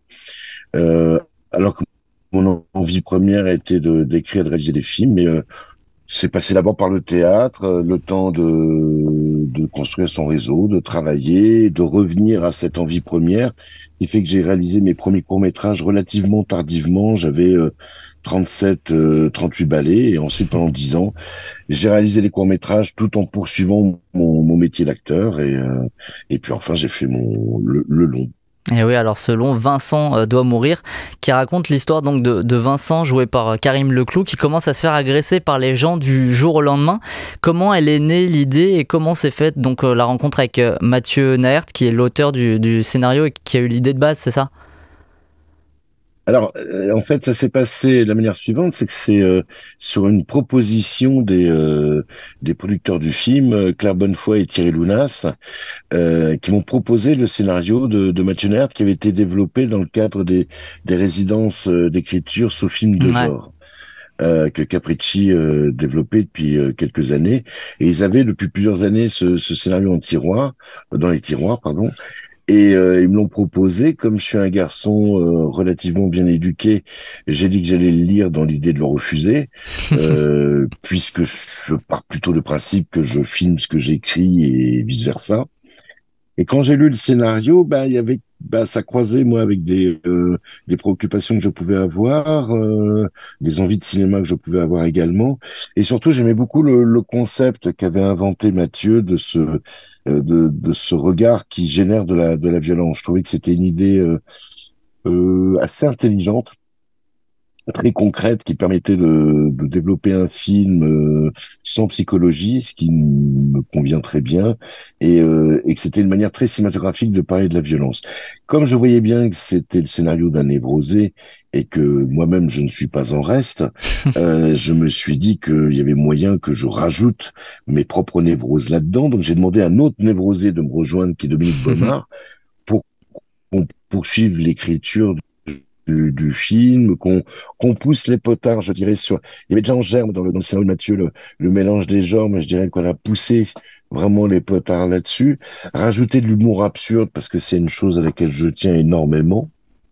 Et, euh, et oui, pousser les potards, puisque dans, dans la version de Mathieu, dans le script original, il n'y avait que Vincent qui était victime du phénomène, et il nous semblait intéressant avec Dominique qu'on ouvre et que au fur et à mesure, euh, pendant une bonne partie du film, on se dise que ce personnage est taré, qu'après on se dise mais non, en fait, face à la, propagation de ce de cet étrange phénomène, on voit bien qu'en fait c'est le monde qui est en train de devenir taré. Ouais, bah, c'est ce que j'allais vous demander. euh, comment il s'est passé déjà, s'est déroulé ce travail à six mains, puisque comme vous l'avez dit, il y a Dominique euh, Baumard qui vous a, qui vous a rejoint. Donc vous, c'est c'est vraiment aussi euh, sur l'aspect euh, comique que vous avez ajouté des, votre patte, c'est ça? Comique, je dirais pas ça parce que j'aime pas en fait que ça soit un humour obligatoire et la notion de comique ou de comédie même euh, pourrait porter à ça. Donc moi ce que j'aime bien c'est un- c'est pour ça que je tiens au mot absurde si vous voulez euh, parce que c'est un humour qui permet de rire des choses graves euh, sans euh, sans tourner en dérision le, le propos du film. Et c'est un rire, ma foi, on, on peut en rire ou pas. Voilà, c'est à l'appréciation des spectateurs, quoi. Et, euh, mais vous savez, après l'écriture d'un film, enfin voilà, on part du travail de Mathieu, ensuite avec Dominique, euh, tous les deux, on, on poursuit l'adaptation, mais après ça se poursuit euh, au tournage, puisqu'en plus je demande aux acteurs parfois de ne pas apprendre les scènes, parce que j'aime bien travailler avec de l'improvisation, et je dirais que l'écriture finale se, se fait avec toute la matière du film, bien sûr, au montage. Donc c'est c'est un long processus, et euh, c'est un processus qui est assez intéressant en l'occurrence, parce que c'est la première fois que je partais du travail d'un autre, et, euh, et c'est toujours intéressant de voir comment on peut finalement arriver à faire un film plutôt personnel à l'arrivée, mais effectivement en partant par un processus très différent de celui dont on a l'habitude en France. Et, ce mélange de, des tonalités, hein, voilà, on passe bah, de l'absurde du coup à l'horreur, de la violence à la tendresse. Est-ce que ça a été euh, du coup compliqué à doser sur le, sur le tournage? Est-ce que vous aviez pas peur que ça soit casse-gueule à certains endroits? Ah, vous savez, de toute façon, c'était un film qui était casse-gueule à tous les endroits, puisque je pense que pour un premier film, on fait à peu près exactement tout ce qu'il ne faut pas faire. Euh, on a beaucoup de scènes de bagarre, de cascades. euh, il y a beaucoup de personnages, euh, beaucoup de décors. Euh, il y a des enfants, un chien, un bateau, euh, des figurants. Enfin, vous voyez, on faisait un peu la quatre fromages hein, à ce niveau-là. Donc, euh, bien sûr qu'entre autres, un des dangers du film, euh, c'était de, de, en fait, de switcher d'une scène d'action à une scène euh, d'amour, à une scène euh, pré-apocalyptique. Il fallait au contraire que le film, au fur et à mesure, s'enrichisse de toutes ces tonalités pour avoir sa tonalité propre, euh, qui est euh, finalement dans, dans ce mélange total des genres où, euh, dans une même scène, on peut à la fois rire et être ému et, euh, et en même temps avoir peur. Et ça, j'aime beaucoup, moi, cette chose-là. C'est une chose d'ailleurs qu'on qu'on voit très souvent euh, par exemple dans le cinéma coréen et ça ne pose pas de souci. Ouais. Donc euh, après voilà, c'est, je dirais que c'est aussi, euh, moi je crois beaucoup au, au travail collectif, sûrement euh, héritage de mes longues années de théâtre. Donc moi je tenais, à ce qu'on fasse un film de troupe, c'est-à-dire qu'on ne soit pas dans cette chose un peu pyramidale parfois imposée par les tournages. Et euh, je tenais à ce qu'on, voilà, à ce que tout le monde puisse causer, à ce qu'on échange, à ce qu'on on cherche euh, ensemble. Et je pense que la tonalité, entre autres, se trouve ainsi, c'est-à-dire euh, en, en étant garant d'un esprit euh, commun. Et c'est intéressant le, le, le rapport avec le cinéma euh, coréen là que vous établissez. Est-ce que c'est peut-être ce, le succès aussi des films coréens ces dernières années qui a fait qu'un film comme le vôtre ait pu être possible euh, en France? Peut-être. Après, je crois qu'il y a pas mal de. Je crois aussi qu'il y, qu'il y, a une envie de la part. Euh... après, je crois que c'est une envie conjointe de, de, plusieurs acteurs du cinéma, que ce soit les, les producteurs, les distributeurs mmh. et les cinéastes, de d'avoir envie d'aller sur d'autres territoires pour ainsi dire. Euh, on voit bien depuis, ben, on pourrait dire que c'est du Cournot qui a ouvert le bal avec Grave il y a une, ouais. 10 ans maintenant, et qu'au fur et à mesure, euh, bah voilà, il y a eu une envie de, de, de rendre compte autrement de notre présent, de raconter notre monde, mais peut-être moins sous l'angle d'un naturalisme euh, pur jus que moi j'aime hein, par ailleurs, mais qui ne peut pas être que l'alpha et l'oméga du, du, cinéma et qu'on peut aussi avoir envie des, euh, de montrer euh, cela à travers justement le, le fantastique, euh, l'étrange, le bizarre, euh, et de, de, de, montrer presque une vision de, de profil de notre société. Je finis un, un, petit peu sur ce volet sur le, sur le genre. Et, euh, vous jouez aussi beaucoup dans Vincent doit mourir sur les, sur les codes du film de zombies. Qu'est-ce qui vous a attiré dans ces êtres un peu désincarnés? Bah, je joue juste qu'avec les codes, quoi, mais euh, parce que ce ne sont pas des zombies. Euh, ouais. Ce sont, ce sont des, des, des... Moi, ce qui m'intéressait plus que les zombies, c'était de, de montrer des, des, des personnes ordinaires qui euh, tout d'un coup se, se, se, se, se mettent à avoir une violence terrible. La violence du film, en tout cas dans les images, elle est entre autres là. C'est qu'on voit des corps auxquels nous ne sommes pas habitués au cinéma. Euh, dans, en, en, termes de bagarre. Euh, on voit euh, un facteur, euh, une dame dans sa voiture, euh, et même des corps tabous, puisqu'il y a même des enfants qui se qui attaquent Vincent et qui ouais. vont se, se, bagarrer ensemble.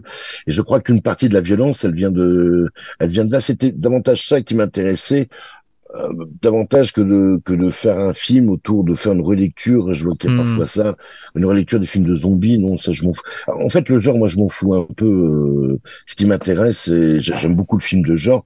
Ce qui m'intéresse après, c'est de raconter un film. Et, et encore une fois, et c'était déjà le cas pour mes cours métrage, je n'aime pas être dans une seule catégorie. Euh, S'il faut qu'on aille vers cette voie-là, on va vers cette voie-là. Euh, on peut à la fois euh, jouer sur une forme ouais. de réalisme, mais en même temps être dans le fantastique être drôle et ne pas être drôle non plus. Euh, enfin voilà, ce que je n'aime pas, c'est être rangé de, sur une étagère, en tout cas. Bah, en tout cas, ça, ça se sent et puis on a vraiment l'impression d'être face à un, à un, ovni. Et c'est vrai que votre film, en fait, l'histoire du film, elle aurait très bien pu être traitée de façon bah, très terre à terre, sans forcément euh, de, de, de, genre. Et c'est ce qui fait que aussi, bah, elle fonctionne à la fois avec euh, sous plusieurs formes, je pense, et, et qui fait euh, le, le, charme de votre long métrage. Euh, il y a ce que j'ai l'impression aussi que votre film il s'arrête là où il y en a beaucoup d'autres sur cette thématique commence. Est-ce que vous en aviez conscience et est-ce qu'il y avait un objectif clair derrière ça?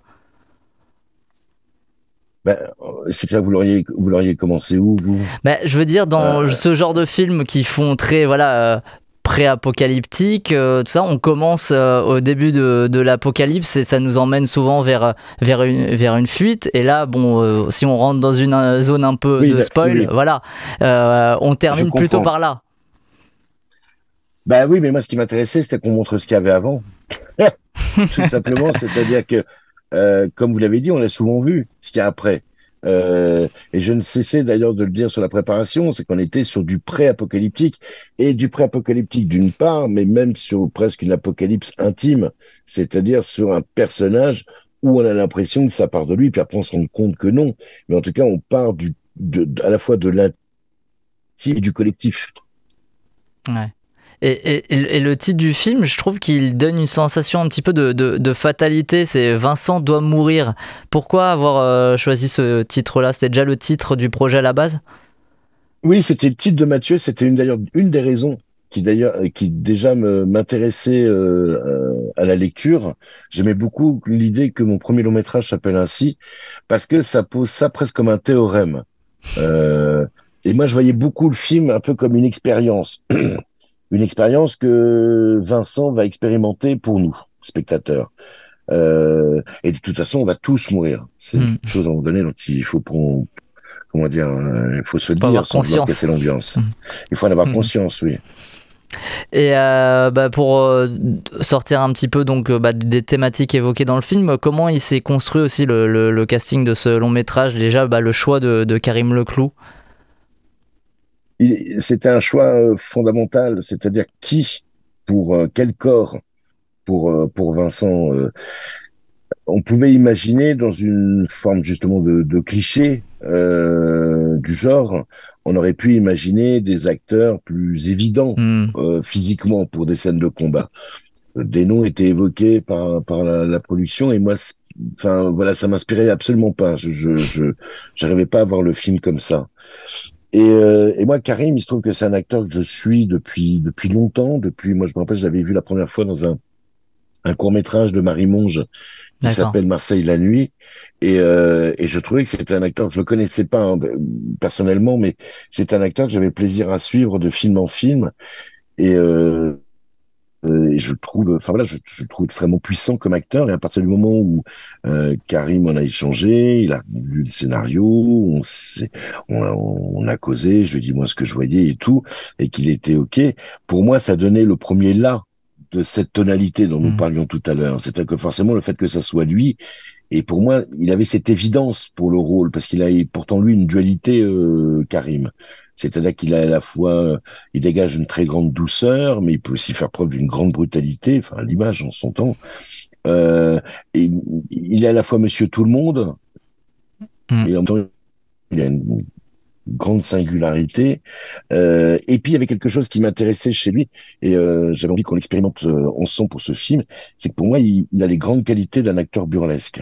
C'est-à-dire qu'il a un peu, enfin, si vous regardez la, la première demi-heure du film, il y a un peu le parcours d'un héros burlesque, c'est-à-dire avec ce corps un peu gauche, un peu maladroit, qui se prend ses coups et qui, en même temps, avec un visage impassible, un peu à la manière d'un Harry Langdon ou d'un Buster Keaton, euh, et qui va essayer de, de euh, non pas de se demander euh, psychologiquement, je mais pourquoi tout ça m'arrive, mais juste comment je vais m'en sortir. Et, et, j'aimais beaucoup qu'on soit plutôt sur la question du comment davantage que celle du pourquoi. C'est peut-être aussi ce que le genre permet. Très bien. Et euh, vous avez commencé à, à l'évoquer tout à l'heure, donc les comédiens, vous les faisiez du, du coup pas forcément apprendre tout leur texte. Euh, comment ça se passait euh, concrètement? Vous leur donniez une ligne directrice sur la séquence et, et eux après ils improvisaient? La, la situation, quoi. C'est-à-dire que pour, pour, pour- juste pour euh, compléter la, la- votre question précédente, sur le reste du casting, le choix de Vimala est aussi très important. C'est-à-dire que d'autant que Margot n'est pas un personnage aisé, euh, ce n'était pas trivial de trouver la, comédienne euh, idéale pour ce rôle, puisque elle arrive à mi-parcours du film. Donc j'avais le sentiment qu'il fallait une comédienne qui ait déjà une histoire avec les spectateurs et qui est euh, de façon évidente, encore une fois, quelqu'un qui, dont on se dit, ben, Vincent peut avoir un coup de foudre immédiat pour euh, pour elle. Et puis elle a cette chose-là, euh, Vimala, d'être, euh, c'est à la fois une très très grande actrice euh, et c'est une comédienne qui est à la fois solaire, qui est aussi sombre, qui a une grande profondeur. Et je- moi, je suis très heureux que le film ait été euh, le, le- le- propice à créer ce, ce, ce beau couple de, Mm. de cinéma. Pour le reste des acteurs, comme j'ai fait longtemps du théâtre, il y a quand même pas mal d'acteurs que j'avais envie de voir jouer, et quitte à faire un premier long métrage, autrement montrer des, des, de, de beaux et de belles actrices. Mais sur la, sur la manière de bosser, on a répété une seule chose, c'était les scènes de combat, puisque ça, il fallait absolument les répéter. Euh, D'autant qu'il fallait répéter, et donc ça, ça, ça, on, ça, on voyait ça avec Manu Lanzi, qui est le, le régleur cascade. Euh, et, et, et il fallait absolument que ça soit comment dire que ça ne soit pas fun. C'est-à-dire Mm. qu'il fallait pas que ces combats soient euh, euh, spectaculaires au sens euh, où on peut l'entendre depuis une trentaine d'années où on voit des corps parfaits euh, une caméra virevoltante des chorégraphies extrêmement virtuoses. Quand vous voyez des gens se battre c'est sale euh, c'est dégueulasse quoi les gens s'attrapent les cheveux se mordent donc là il fallait au contraire c'était une, une réflexion à la fois avec Manu Lanzi puis aussi avec l'autre Manu Manu Dacos, le chef opérateur du film, c'est-à-dire qu'il fallait absolument qu'on soit dans une forme de réalisme là-dessus, puisqu'encore une fois, on a affaire à des corps qui ne savent pas se battre. Donc il fallait chorégraphier une certaine maladresse. Donc ça, on a travaillé en amont avec les, les actrices et les acteurs euh, concernés.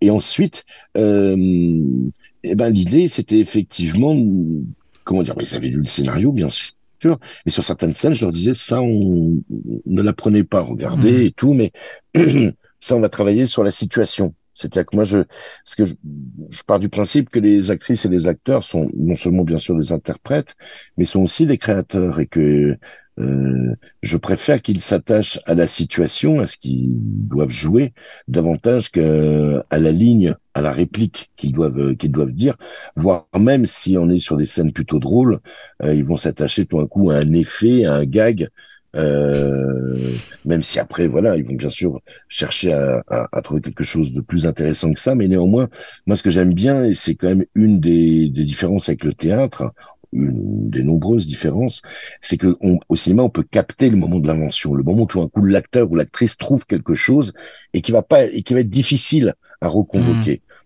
Euh, et ça, moi, c'est son. Moi, je- il n'y a rien que je, de plus kiffant pour moi que tout d'un coup de- d'assister à une scène et tout d'un coup je- j'entrevois quelque chose que je n'avais absolument pas prévu et qui est infiniment mieux que ce que j'avais prévu. Et euh, j'imagine que ça, ça, ça a dû se passer euh, beaucoup de fois du coup sur le, sur le tournage? Bien sûr, bien Ouais. sûr, b- souvent. Et ça, c'est, c'est, c'est, c'est, euh, je pense par exemple à la, pardon, à la scène du commissariat euh, Ouais. du film qui fait partie parmi les, je trouve, des scènes les plus drôles. Mm. Et quand à un moment donné, le flic demande à Vincent s'il veut porter plainte et que c'est l'autre qui répond non, non, c'était pas, c'était pas prévu. C'est une invention de l'acteur, une invention géniale. Enfin, un coup de génie de faire ça. Mm. Et, et moi, j'adore parce que même par rapport à l'équipe, c'est des moments où euh, on ne s'y attend pas, donc on a tous le- un peu le fou rire qu'on réfrène. Et, et vous voyez, quand je parlais de films de troupe, ben voilà, ce sont des choses comme ça qui tout d'un coup euh, euh, créent un esprit, parce qu'en même temps, faut tenir, faut pas, faut pas foutre en l'air la, la prise. Et, et cette chose-là, je trouve, c'est précieux. Euh, c'est précieux à l'image par rapport à, par rapport à une justesse et du rire et de la situation, mais aussi même par rapport à, à la troupe. Ouais, il y a pas mal de pépites comme ça, donc c'est vrai que vous avez dû souvent euh, vous forcer à ne pas, à ne pas rire pour pas, pour pas foirer les prises. on s'est bien marré sur ce tournage qui n'était pas facile parce qu'il y avait beaucoup de choses à faire et que il fallait pas les foirer, mais il y a eu une grande jubilation. euh, on a eu beaucoup de plaisir à faire à fabriquer ce film ensemble. quoi. Et je pense que cette jubilation, même si, si elle est une chose invisible, passe malgré tout à, à l'image. Depuis le, depuis le début de cet entretien, vous, vous évoquez souvent du coup la, question du, du corps et même des représentations du coup euh, avec ces, acteurs que vous avez choisis en fonction aussi de, leur physique. Ça, ça vous vient d'où selon vous cette envie de traiter de ce sujet du corps? Ça vient peut-être du théâtre? C'est quoi? Non, je pense pas. J'en sais rien, euh, j'analyse pas ça. Euh, je pense que c'est toujours intéressant que le corps euh, révèle euh, des choses, euh, et je pense aussi qu'il y a des corps qu'on ne voit pas souvent au cinéma. Mm. On est quand même souvent, on a, on a beaucoup de représentations assez lisses. Ça c'est cl- ça c'est sûr et votre film au moins il, il déroge un, un peu à cette règle et ça fait du bien. Est-ce que euh, vous avez commencé à évoquer donc euh, par exemple le, le cinéma coréen mais même Buster Keaton Est-ce qu'il y a des œuvres qui vous ont influencé pour la réalisation de Vincent doit mourir consciemment, consciemment ou non? Euh, bah, inconsciemment, je ne le sais pas encore, mais euh, je ne manquerai pas Vous n'avez pas dire. encore analysé Mais- votre film? Non. Non, non, non, je laisse ce soin-là à d'autres. Euh, je pense pas que ce soit très sain d'analyser euh, son, ses propres bazars. Euh, mais de façon consciente, bien sûr, il y a, ben, je- euh, pêle-mêle, bon, il y avait Carpenter, bien sûr, le Carpenter de l'invasion de Los Angeles, Mhm. qui en plus de ça est sûrement le Carpenter le plus ironique. Euh, il y avait aussi Georgia Romero, mais le Romero plutôt première manière, celui de, de The Crazies, de Season of a Witch et de Zombie. Il y a une scène qui vraiment fait un écho direct à, à Zombie de, de Romero, celle du supermarché, Ouais. bien sûr.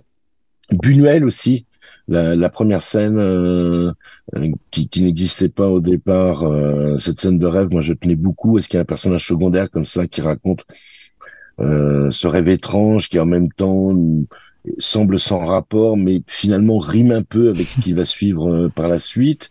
Godard aussi pour la séquence sur la bretelle d'autoroute qui est une référence, en tout cas je l'avais en tête de Weekend où il y a, y a un grand embouteillage dans Weekend où les gens se, se foutent sur la gueule.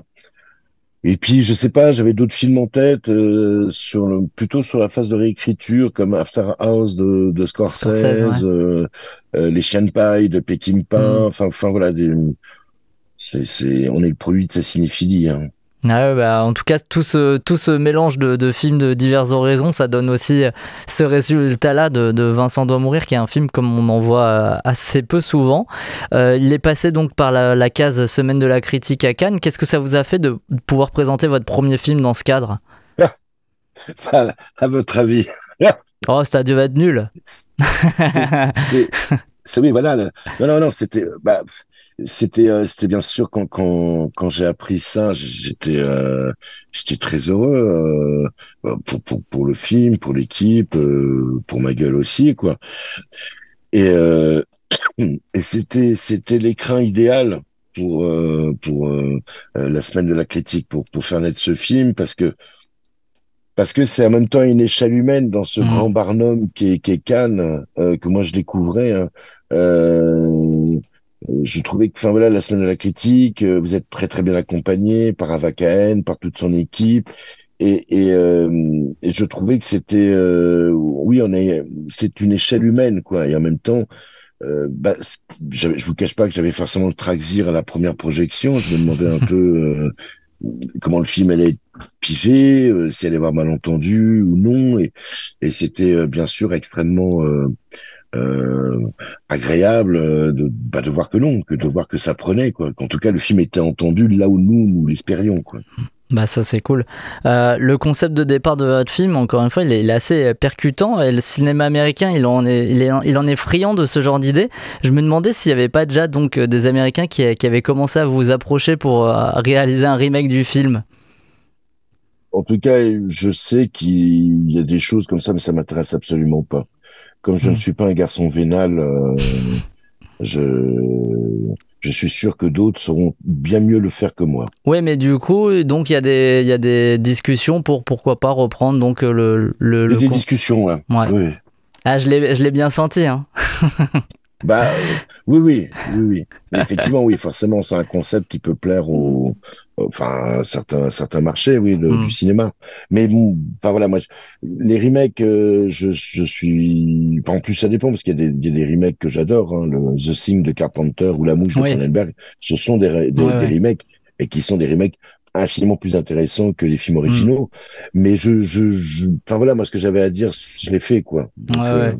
Non mais je comprends. Et puis là, bon voilà, c'est les remakes que vous évoquez, c'est sûr. En plus, c'est des remakes bah, de, de bah, c'est des films euh, qui n'étaient pas français à la base, mais les remakes français qu'on a eu de, de films américains, parfois ça n'a pas toujours été, été euh, super. Faut voir, euh, faut voir, on sait jamais. on ah sait oui, jamais. ça c'est ça c'est sûr, Ne mais je- jugeons pas, ne jugeons pas à l'avance. non non, c'est sûr. Je, bah, je serais très curieux de, de découvrir ce projet-là, mais en tout cas vous, euh, ça serait pas forcément vous donc qui passerez derrière la caméra parce que vous Ah avez non, su- non, non, c'est vous avez pas, tout dit. C'est pas forcément, ça ne sera pas moi. Eh ben, ça ne le sera pas.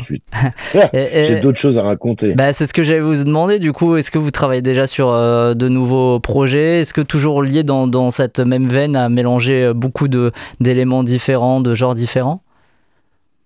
Ça gamberge. Alors, je n'en parlerai pas parce que ça gamberge, Mhm. mais de, de toute façon, oui, ça sera, ça sera déjà dans un mélange des genres, ça c'est sûr. Et puis il y aura, euh, il y aura de l'humour. euh, encore une fois, cet humour-là, parce que bon, c'est, celui que j'aime pratiquer en général. Bon, bah très bien. Euh, on termine toujours par la même question dans The Cinema Show. Cette question, c'est la suivante. Est-ce qu'il y a un film que vous avez découvert au, au cinéma ou même à la maison récemment qui vous a marqué? Bah, le règne animal. Euh, de Thomas Akaye. J'ai trouvé, euh, j'ai trouvé, j'ai trouvé vraiment formidable. J'ai adoré ce film. Euh, j'ai trouvé qu'il avait, il y avait un certain cousinage même avec euh, avec Vincent doit mourir, mais au-delà de ce cousinage-là, qui est plus anecdotique, j'ai trouvé que c'était un très beau film. J'avais- Je trouvais que ça faisait très longtemps que j'avais pas vu Romain Duris aussi euh, aussi aussi aussi beau à, à l'image. Et euh, je trouve que Paul Kircher, Tom Mercier, euh, Del Exarchopoulos sont, sont magnifiques dans ce film. Et, euh, et je trouve que ouais, Thomas Caillet a fait un, enfin, c'est un geste très gracieux de cinéma. Bah, ce film-là et votre film montrent aussi la, la vi- vitalité actuelle euh, bah, du cinéma déjà bah, de, de genre à la française de, de ces dernières années. Donc euh, je trouve ça aussi euh, super cool.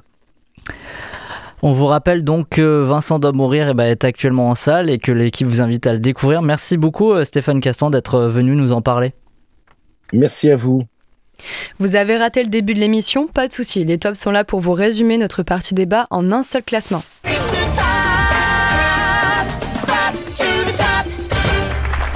On commence par le top 1 de chaque chroniqueur. Euh, bah, moi c'est Hunger Games. Moi, c'est Gueule Noire. C'est Gueule Noire aussi. C'est Out of Sex. Et moi, c'est pareil que Roman, Out of Sex. Maintenant, on passe au top 3 de l'équipe du coup de l'émission. En top 1, on a Out of Sex, surprenant, non. Hunger Games, la balade du serpent et de l'oiseau chanteur en deuxième position. Et Vincent doit mourir en troisième position. Quelqu'un autour de cette table a-t-il vu d'autres films cette semaine? Bah du coup vous euh, Gueule Noire là. Ouais. Franchement, c'est une vraie claque. Ça faisait longtemps que j'avais pas vu un film euh, français. Bah, du coup, on a souvent des films euh, français de genre, mais là, pour le coup, j'en avais, ça fait longtemps que je n'avais pas vu un qui était aussi bien travaillé en termes de lumière. La mine de charbon, c'est vraiment un coffre à jouets. Et du coup, bah, euh, Mathieu Turi s'amuse vraiment beaucoup avec cet univers et il déploie aussi un univers qui est super intéressant. Donc, si vous avez pas trop dérangé par la tripe parce que c'est très gore, foncez le voir. Ouais, un film d'horreur sur une mine dans le nord de la France dans les années 50, c'est très risqué à faire et franchement, ça rend ultra bien à l'écran. Moi j'ai vu euh, La fête continue de Robert Guédiguian. Euh, J'en avais parlé dans l'émission du cinéma. Bon bah ouais moyen voilà euh, sans plus. Mais il a tenu à Marseille, le dire. Marseille, j'avais dit je dirais un mot Marseille voilà. Et t'as vu quoi Et moi j'ai vu deux autres films encore. J'ai vu euh, Le Petit Blond de la Casbah qui euh, est un Marseille, film. là aussi. Non, bah non. Ah non, là. Alger, Alger. Euh, ouais, alors Oula. fais gaffe au- ouais, non, non, non, euh, mais j'ai j'ai confondu. Non, non, non. Là, là, non, le petit blond de la Casbah. Euh, le film est, le film, je l'ai apprécié, mais je suis pas forcément le genre de public qui d'habitude va voir ce, ce film. Euh, le, le résultat est qu'au fait, la, la moyenne d'âge dans la salle, c'était vraiment 60 ans en fait. Euh, on aurait dit le Diago. hein. C'était, c'était comédie. Et le deuxième film que je suis allé voir, euh, du coup, c'était euh, Comme par magie avec Ava Adams, Euh, petit film français, voilà, sur un magicien qui euh, assure une tournée, mais qui du coup a une fille euh, qui peut pas trop voir. Le film est bien aussi. Kev Adams c'est passable, oui, il est, il est pas trop mauvais, mais euh, ça, ça reste le genre de film français. Tu vas le voir, tu dis ouais, ok, j'ai vu le film. Eh ben voilà, bah donc n'y allez pas. Non, Non, euh, ça va. Mais par contre, allez voir Gueule Noire. vraiment. voilà, c'est ce que j'allais dire. On ouais. vous conseille ce film du coup. Dis-moi Simon, est-ce qu'il serait pas l'heure de s'attaquer au fameux quiz de Raph et de Marie? Eh C'est oui, toi qui le préside ce soir Ouais. On a déjà hâte. Mais on me dit aussi dans l'oreillette qu'on va pas être seulement nous à participer au quiz. Eh oui. Véronique Laurent, Qui vous allez là vous joindre à nous? Je l'espère en tout cas. Vous êtes parmi nous ce soir et j'espère que, Vous que vous allez allez vous amuser apprécier aussi. ce quiz. Voilà. Donc c'est parti pour le quiz. Si vous êtes prêts, The game is on.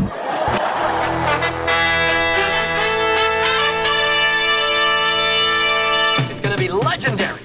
C'est la mer noire. C'est votre ultime bafouille. I am sure, et alors I am tout à fait sure que j'ai raison et que vous avez tort. Oh my god. What? No.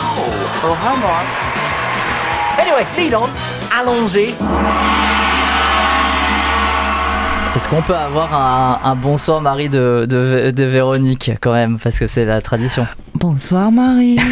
voilà. Bon bah alors, comme d'habitude, deux équipes vont s'affronter ce soir pour le quiz. On a l'équipe d'Oksana et Maxime. Oksana, tu es chef d'équipe ce soir. Et en face, on a l'équipe de Véronique, Roman et Hugo. Et Véronique, tu seras la chef d'équipe. Aïe, Voilà. aïe, aïe, Eh aïe. oui, oui, oui. Euh, première question, donc c'est quoi le titre du quiz ce soir? Je vous ai demandé, euh, est-ce que vous avez pu y réfléchir? Donc, pour nous, ça sera Quiz Games. Quiz Games, ok. Et vous Du coup, euh, tu peux le Euh, dire. vas-y. ouais, non mais j'hésite en fait entre euh, Hunger Quiz et euh, How to Have Quiz. Euh, Allez, disons Hunger Quiz. Eh ben, tu as bien raison, c'est Hunger Quiz 5, mais je vous le compte. Premier point pour votre équipe. Musique de film, dans quelle œuvre entend-on cette musique?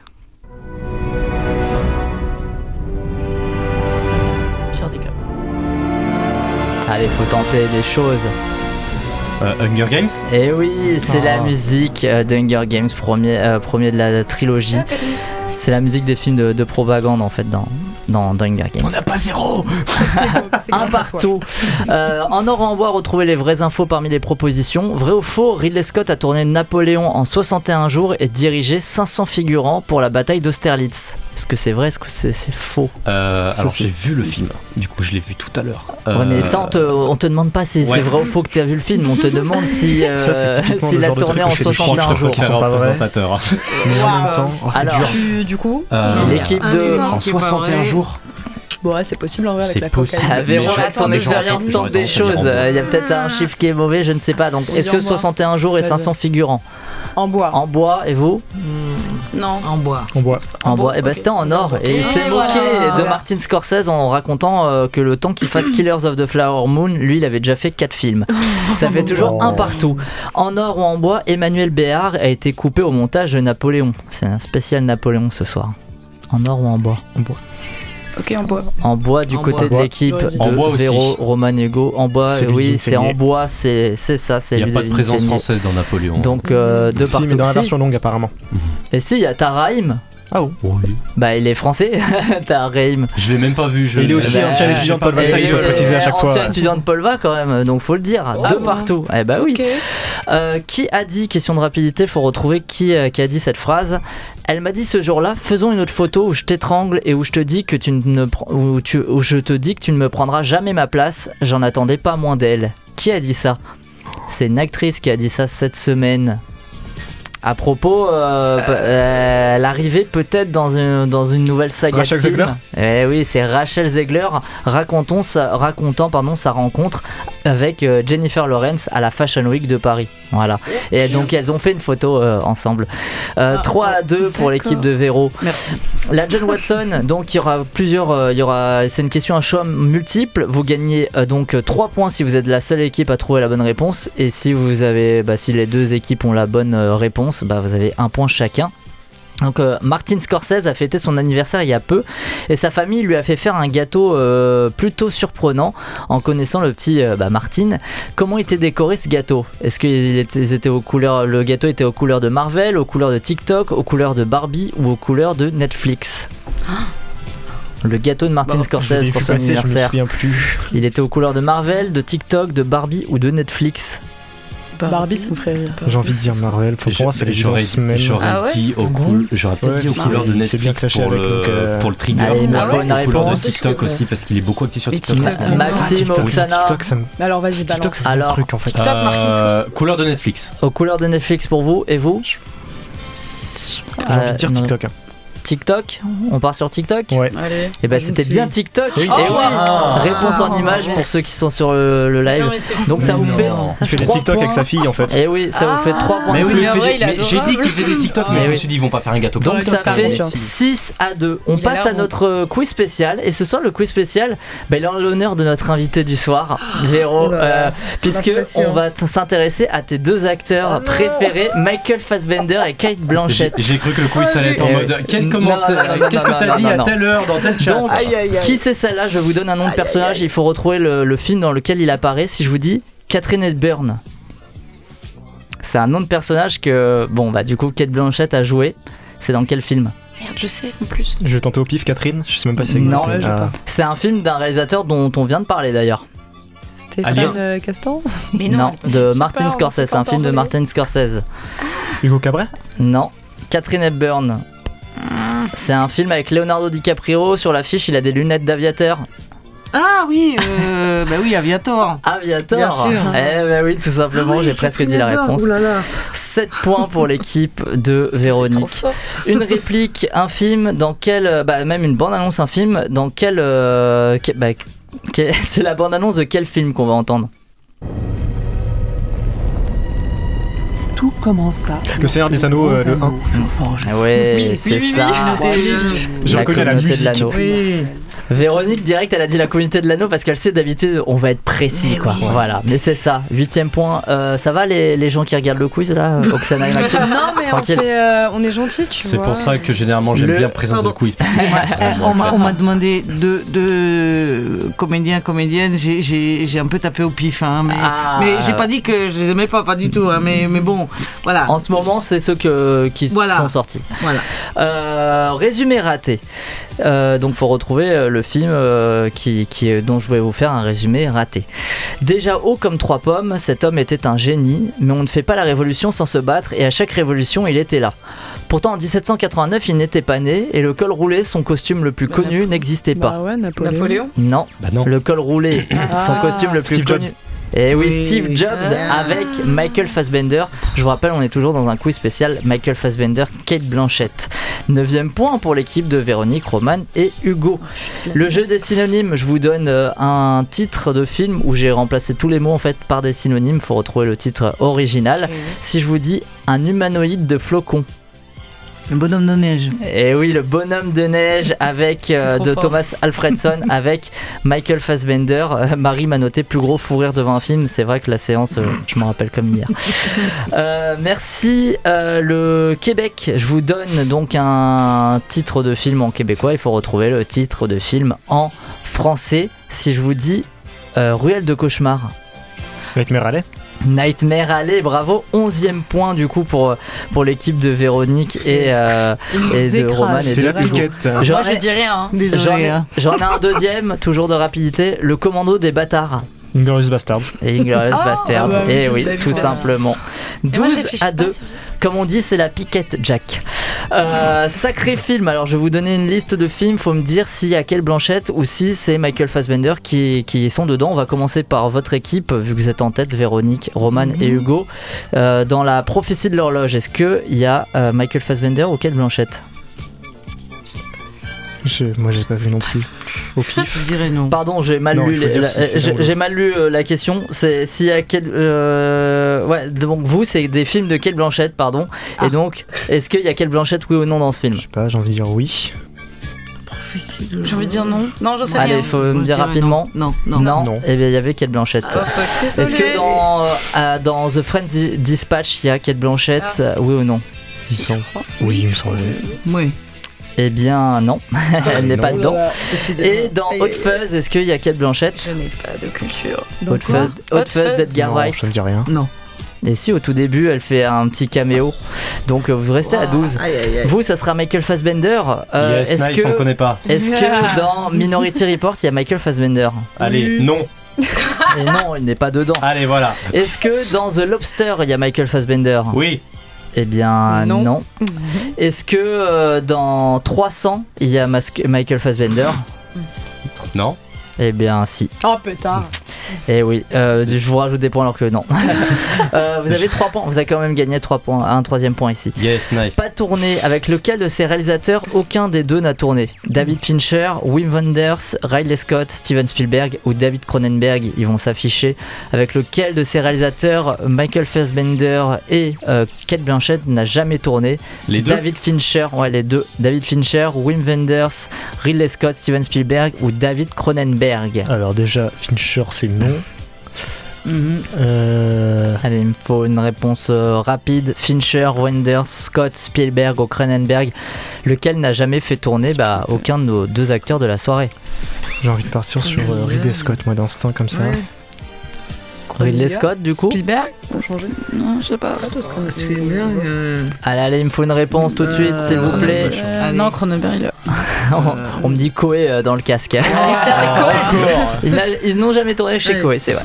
On allait dire euh, euh, Cronenberg, Cronenberg tout pour l'équipe euh. d'Oksana et Scott. Riley Scott, vous avez tous les deux tort, c'était C'est Wim Wenders en fait. Mais oui, Euh, David Fincher, The Killer et Benjamin Button, donc l'un, l'un- bah, Michael Ah. Fassbender dans le premier et Kate Blanchett dans le deuxième. Kate Blanchett chez Ridley Scott, c'est dans Robin des Bois et euh, Michael Fassbender, c'est dans Alien Covenant.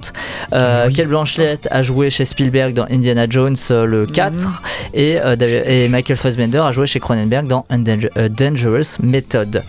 Casting 5 étoiles, je vous donne un, un casting et il faut retrouver le plus rapidement possible le film. Mark Rylance, Tyler Perry, Chris Evans, Jonah Hill, Ron Perlman, Kid Cudi, Michael Chiklis, Meryl Streep, Kate Blanchett, Rob Morgan, Jennifer Lawrence, Leonardo DiCaprio. Allez, Jennifer Don't Lawrence. Don't Look Up Ouais, Don't Look Up, c'est ça, de Adam McKay. 13e point du coup pour votre Non, mais équipe. on va partir, je pense. Euh, dans quel film peut-on Non, mais c'est toi qui anime, tu peux entendre pas. cette musique j'ai Dans quel répondu film à peut-on une entendre cette question. musique C'est un film avec Michael Fassbender. 12 Years a Slave. 12 Years a Slave, bravo Véronique, 14 points à 3. Euh, oui, je peux vous dire que c'est déjà plié. Bon, on joue rapidement le duel time. Tu as le choix entre deux, euh, deux sujets, donc nationalité ou casting. Véronique, il n'y a que toi qui va répondre. Nationalité. Nationalité. Quelle Blanchette et Michael Fassbender ont à eux deux quatre nationalités? Laquelle n'appartient à aucun des deux? Irlandaise, australienne, américaine ou anglaise? Quelle Blanchette et, Fassbender, et Michael Fassbender ont à eux deux quatre nationalités? Laquelle n'appartient à aucun des deux? Irlandaise, australienne, américaine ou anglaise? Tu perds 4 points si tu as la mauvaise réponse, tu en gagnes 4 si tu as la bonne réponse. Tu peux perdre dans Allez. tous les cas, on a perdu. Ouais, tu peux nous dire. Oui, euh, allez, disons euh, australienne. Australienne, c'est noté. Euh, Oksana, dans, donc tu as casting. Dans lequel de ces films Michael Fassbender et Kate Blanchett jouent-ils ensemble? Song to Song de Terrence Malick, Pogno sur la falaise d'Ayao Miyazaki, Shame de Steve McQueen ou Carole de Todd Haynes? Je crois que j'ai la réponse. Moi aussi, je crois. Carole, vais pas le euh, Carole le chose. Carole le- J'étais j'ai Ouais, fait une Carole de absence en Todd fait. Haynes. Bon, bah, je peux déjà te dire que c'est pas la bonne Bah, réponse. je m'en tu l'as hein. Ouais, c'est Song to Song, non Song to Song de doigts de dire effectivement. pogno à tel point, tu vois. et non, ça c'est que Kate Blanchett dans Pogno qui fait une voix. Eh, tu m'aurais, tu m'aurais, tu m'aurais laissé. Ah, euh, Ta gueule, on n'a pas le temps. j'a- J'aurais dit, j'aurais dit, tu m'aurais laissé regarder les noms des artistes sur les, sur les affiches. J'aurais pu te dire la réponse. On a toujours pas le temps. Non. Merci. C'était pas australienne. en fait, euh, bah, Kate Blanchett, J'y- elle est australienne et américaine. Ouais. Michael Fassbender, il est allemand et irlandais. Et Roman a, a sa sonnerie allumée. Donc c'était anglais en fait qu'il fallait Ah, dire. ouais. Mais bon, vous gagnez quand même le quiz. Bravo Véronique, Hugo et Roman. En même temps, il y avait personne en face, j'ai l'impression. Eh, Je tiens à dire qu'on nous a même pas enlevé nos 4 Ça m'a rappelé, Oui, ça m'a bah- rappelé France Gibraltar ce week-end. Ouais, j'avoue, Oh. j'avoue. 10-0, c'est C'est la pété, dur. c'est la On Ah, on, a, on a même mis le moins 1. Le moins 1 est Nice, merci beaucoup. Voilà. Allez, voilà. On avait dit qu'on le mettrait peut-être pas. Voilà. Non, non, mais non, c'est bien de montrer l'humiliation voilà, oui, qu'on subit beau. dans cette émission là. Voilà. Oksana, je te laisse reprendre la main. C'était pas Et ben en truqué, tout cas, je voulais vous remercier et surtout mention spéciale à Véronique qui nous a éclaté Merci à vous pour l'invitation, c'était super. Maintenant, on va passer au reco. Alors si je peux me permettre de te donner un conseil, c'est oublie que t'as aucune chance, vas-y fonce. On sait jamais, sur un malentendu ça peut marcher. Alors, alors tout de suite, euh, j'ai perdu mes recos. Les recommandations de la semaine, c'est. Ils sont là, ils sont là. Regarde, je les vois. Très bien, merci Simon, que ferais-je en toi? On commence tout de suite avec la reco de Roman, qui est sur la BD de Lou Sonata tome 2, qui a été écrit ou créé, je ne sais pas, illustré. Ça y est, là, tu Créé hop, on passe à la Julien- suite. Là, Julien Nil. Oui. Euh, Est-ce que j'enchaîne ou pas? Non, mais Non, euh, Roman dit un petit mot. Oui, Euh, oui, du coup, c'est le tome 2 de Lou Sonata, donc c'est la vie adulte de Lou. Je sais pas si vous connaissez les BD. Oui, oui, oui. voilà, moi j'adore. Ça c'est- berce j'étais l'adolescence, oui. Exactement, voilà. Et ben je l'ai lu en 30 minutes, vraiment. Je l'ai dévoré. C'était génial, vraiment. j'ai- C'était trop cool et ça fait plaisir de la revoir avec euh, tous ses potes. Allez l'acheter. voilà. On passe avec la petite reco de Maxime, qui est la Bah série attends, Black... laisse, laisse Maxime le présenter au pire. Ok, Comme ça, voilà. Ça marche. Alors, ma de recommande de la semaine, du coup, c'est la série Black Summer sur Netflix. Euh, si vous aimez The Walking Dead, vous allez aimer Black Summer. C'est une série de zombies, mais qui a la particularité, il y a très très peu de dialogue. C'est vraiment très très simple. C'est beaucoup dans l'image, c'est beaucoup dans le on montre plutôt que on parle. Et c'est très très bien fait. Il y a que deux saisons et je pense qu'il n'y en aura pas d'autres malheureusement. Euh, parce que la série n'a pas forcément beaucoup marché, mais foncez la voir, elle est incroyable. La question est-ce que deux séries, ça- enfin deux saisons, ça suffit? Euh, en vrai, j'aurais bien aimé en voir plus parce que le concept est quand même dingue de la série. Et elle, elle ajoute beaucoup plus que ce que apporte par exemple The Walking Dead. Voilà, Mhm. c'est un tout autre univers de ce que c'est que le genre du zombie.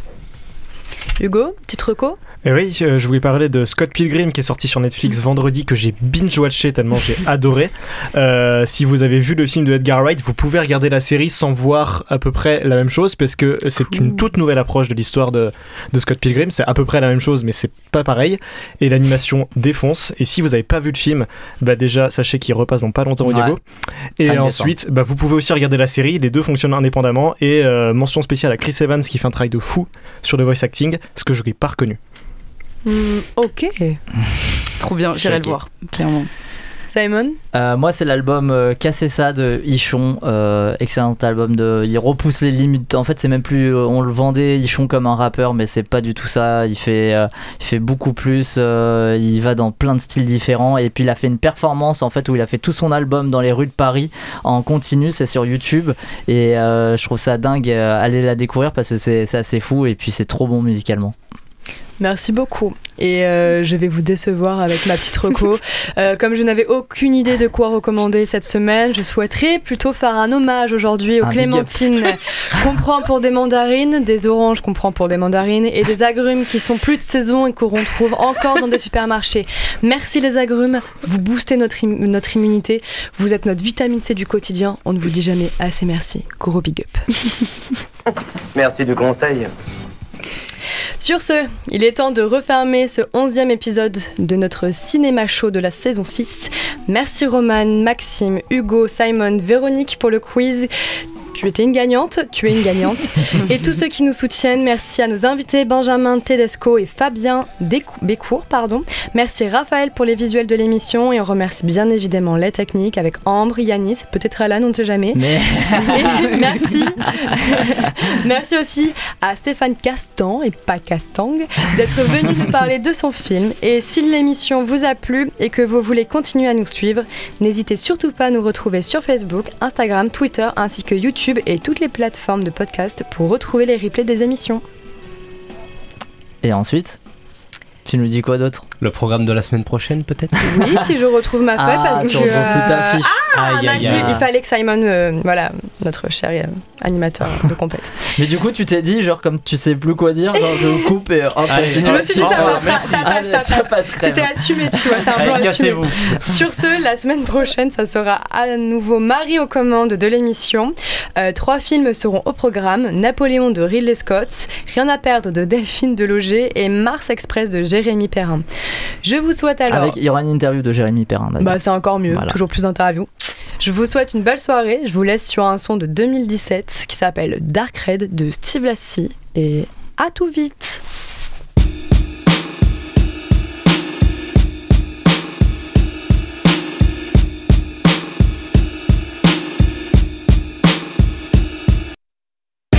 Something bad is about to happen to me. Know what, but I feel it coming.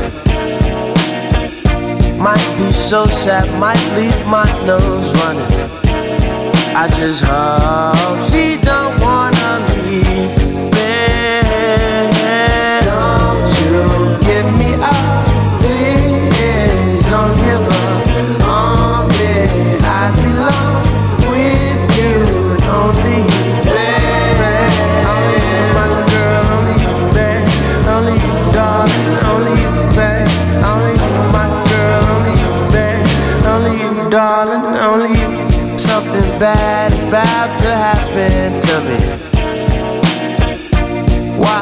feel this way, I don't know, maybe.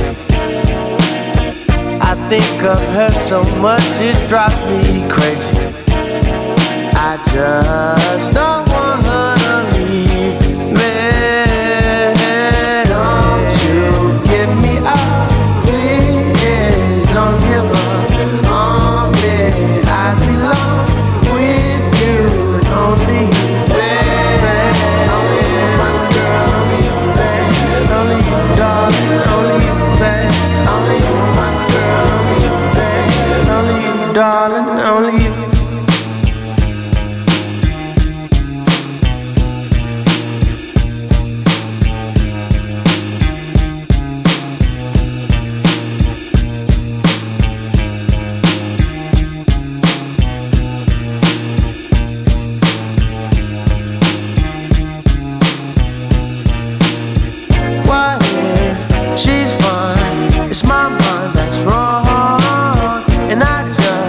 The bad thoughts linger for far too long.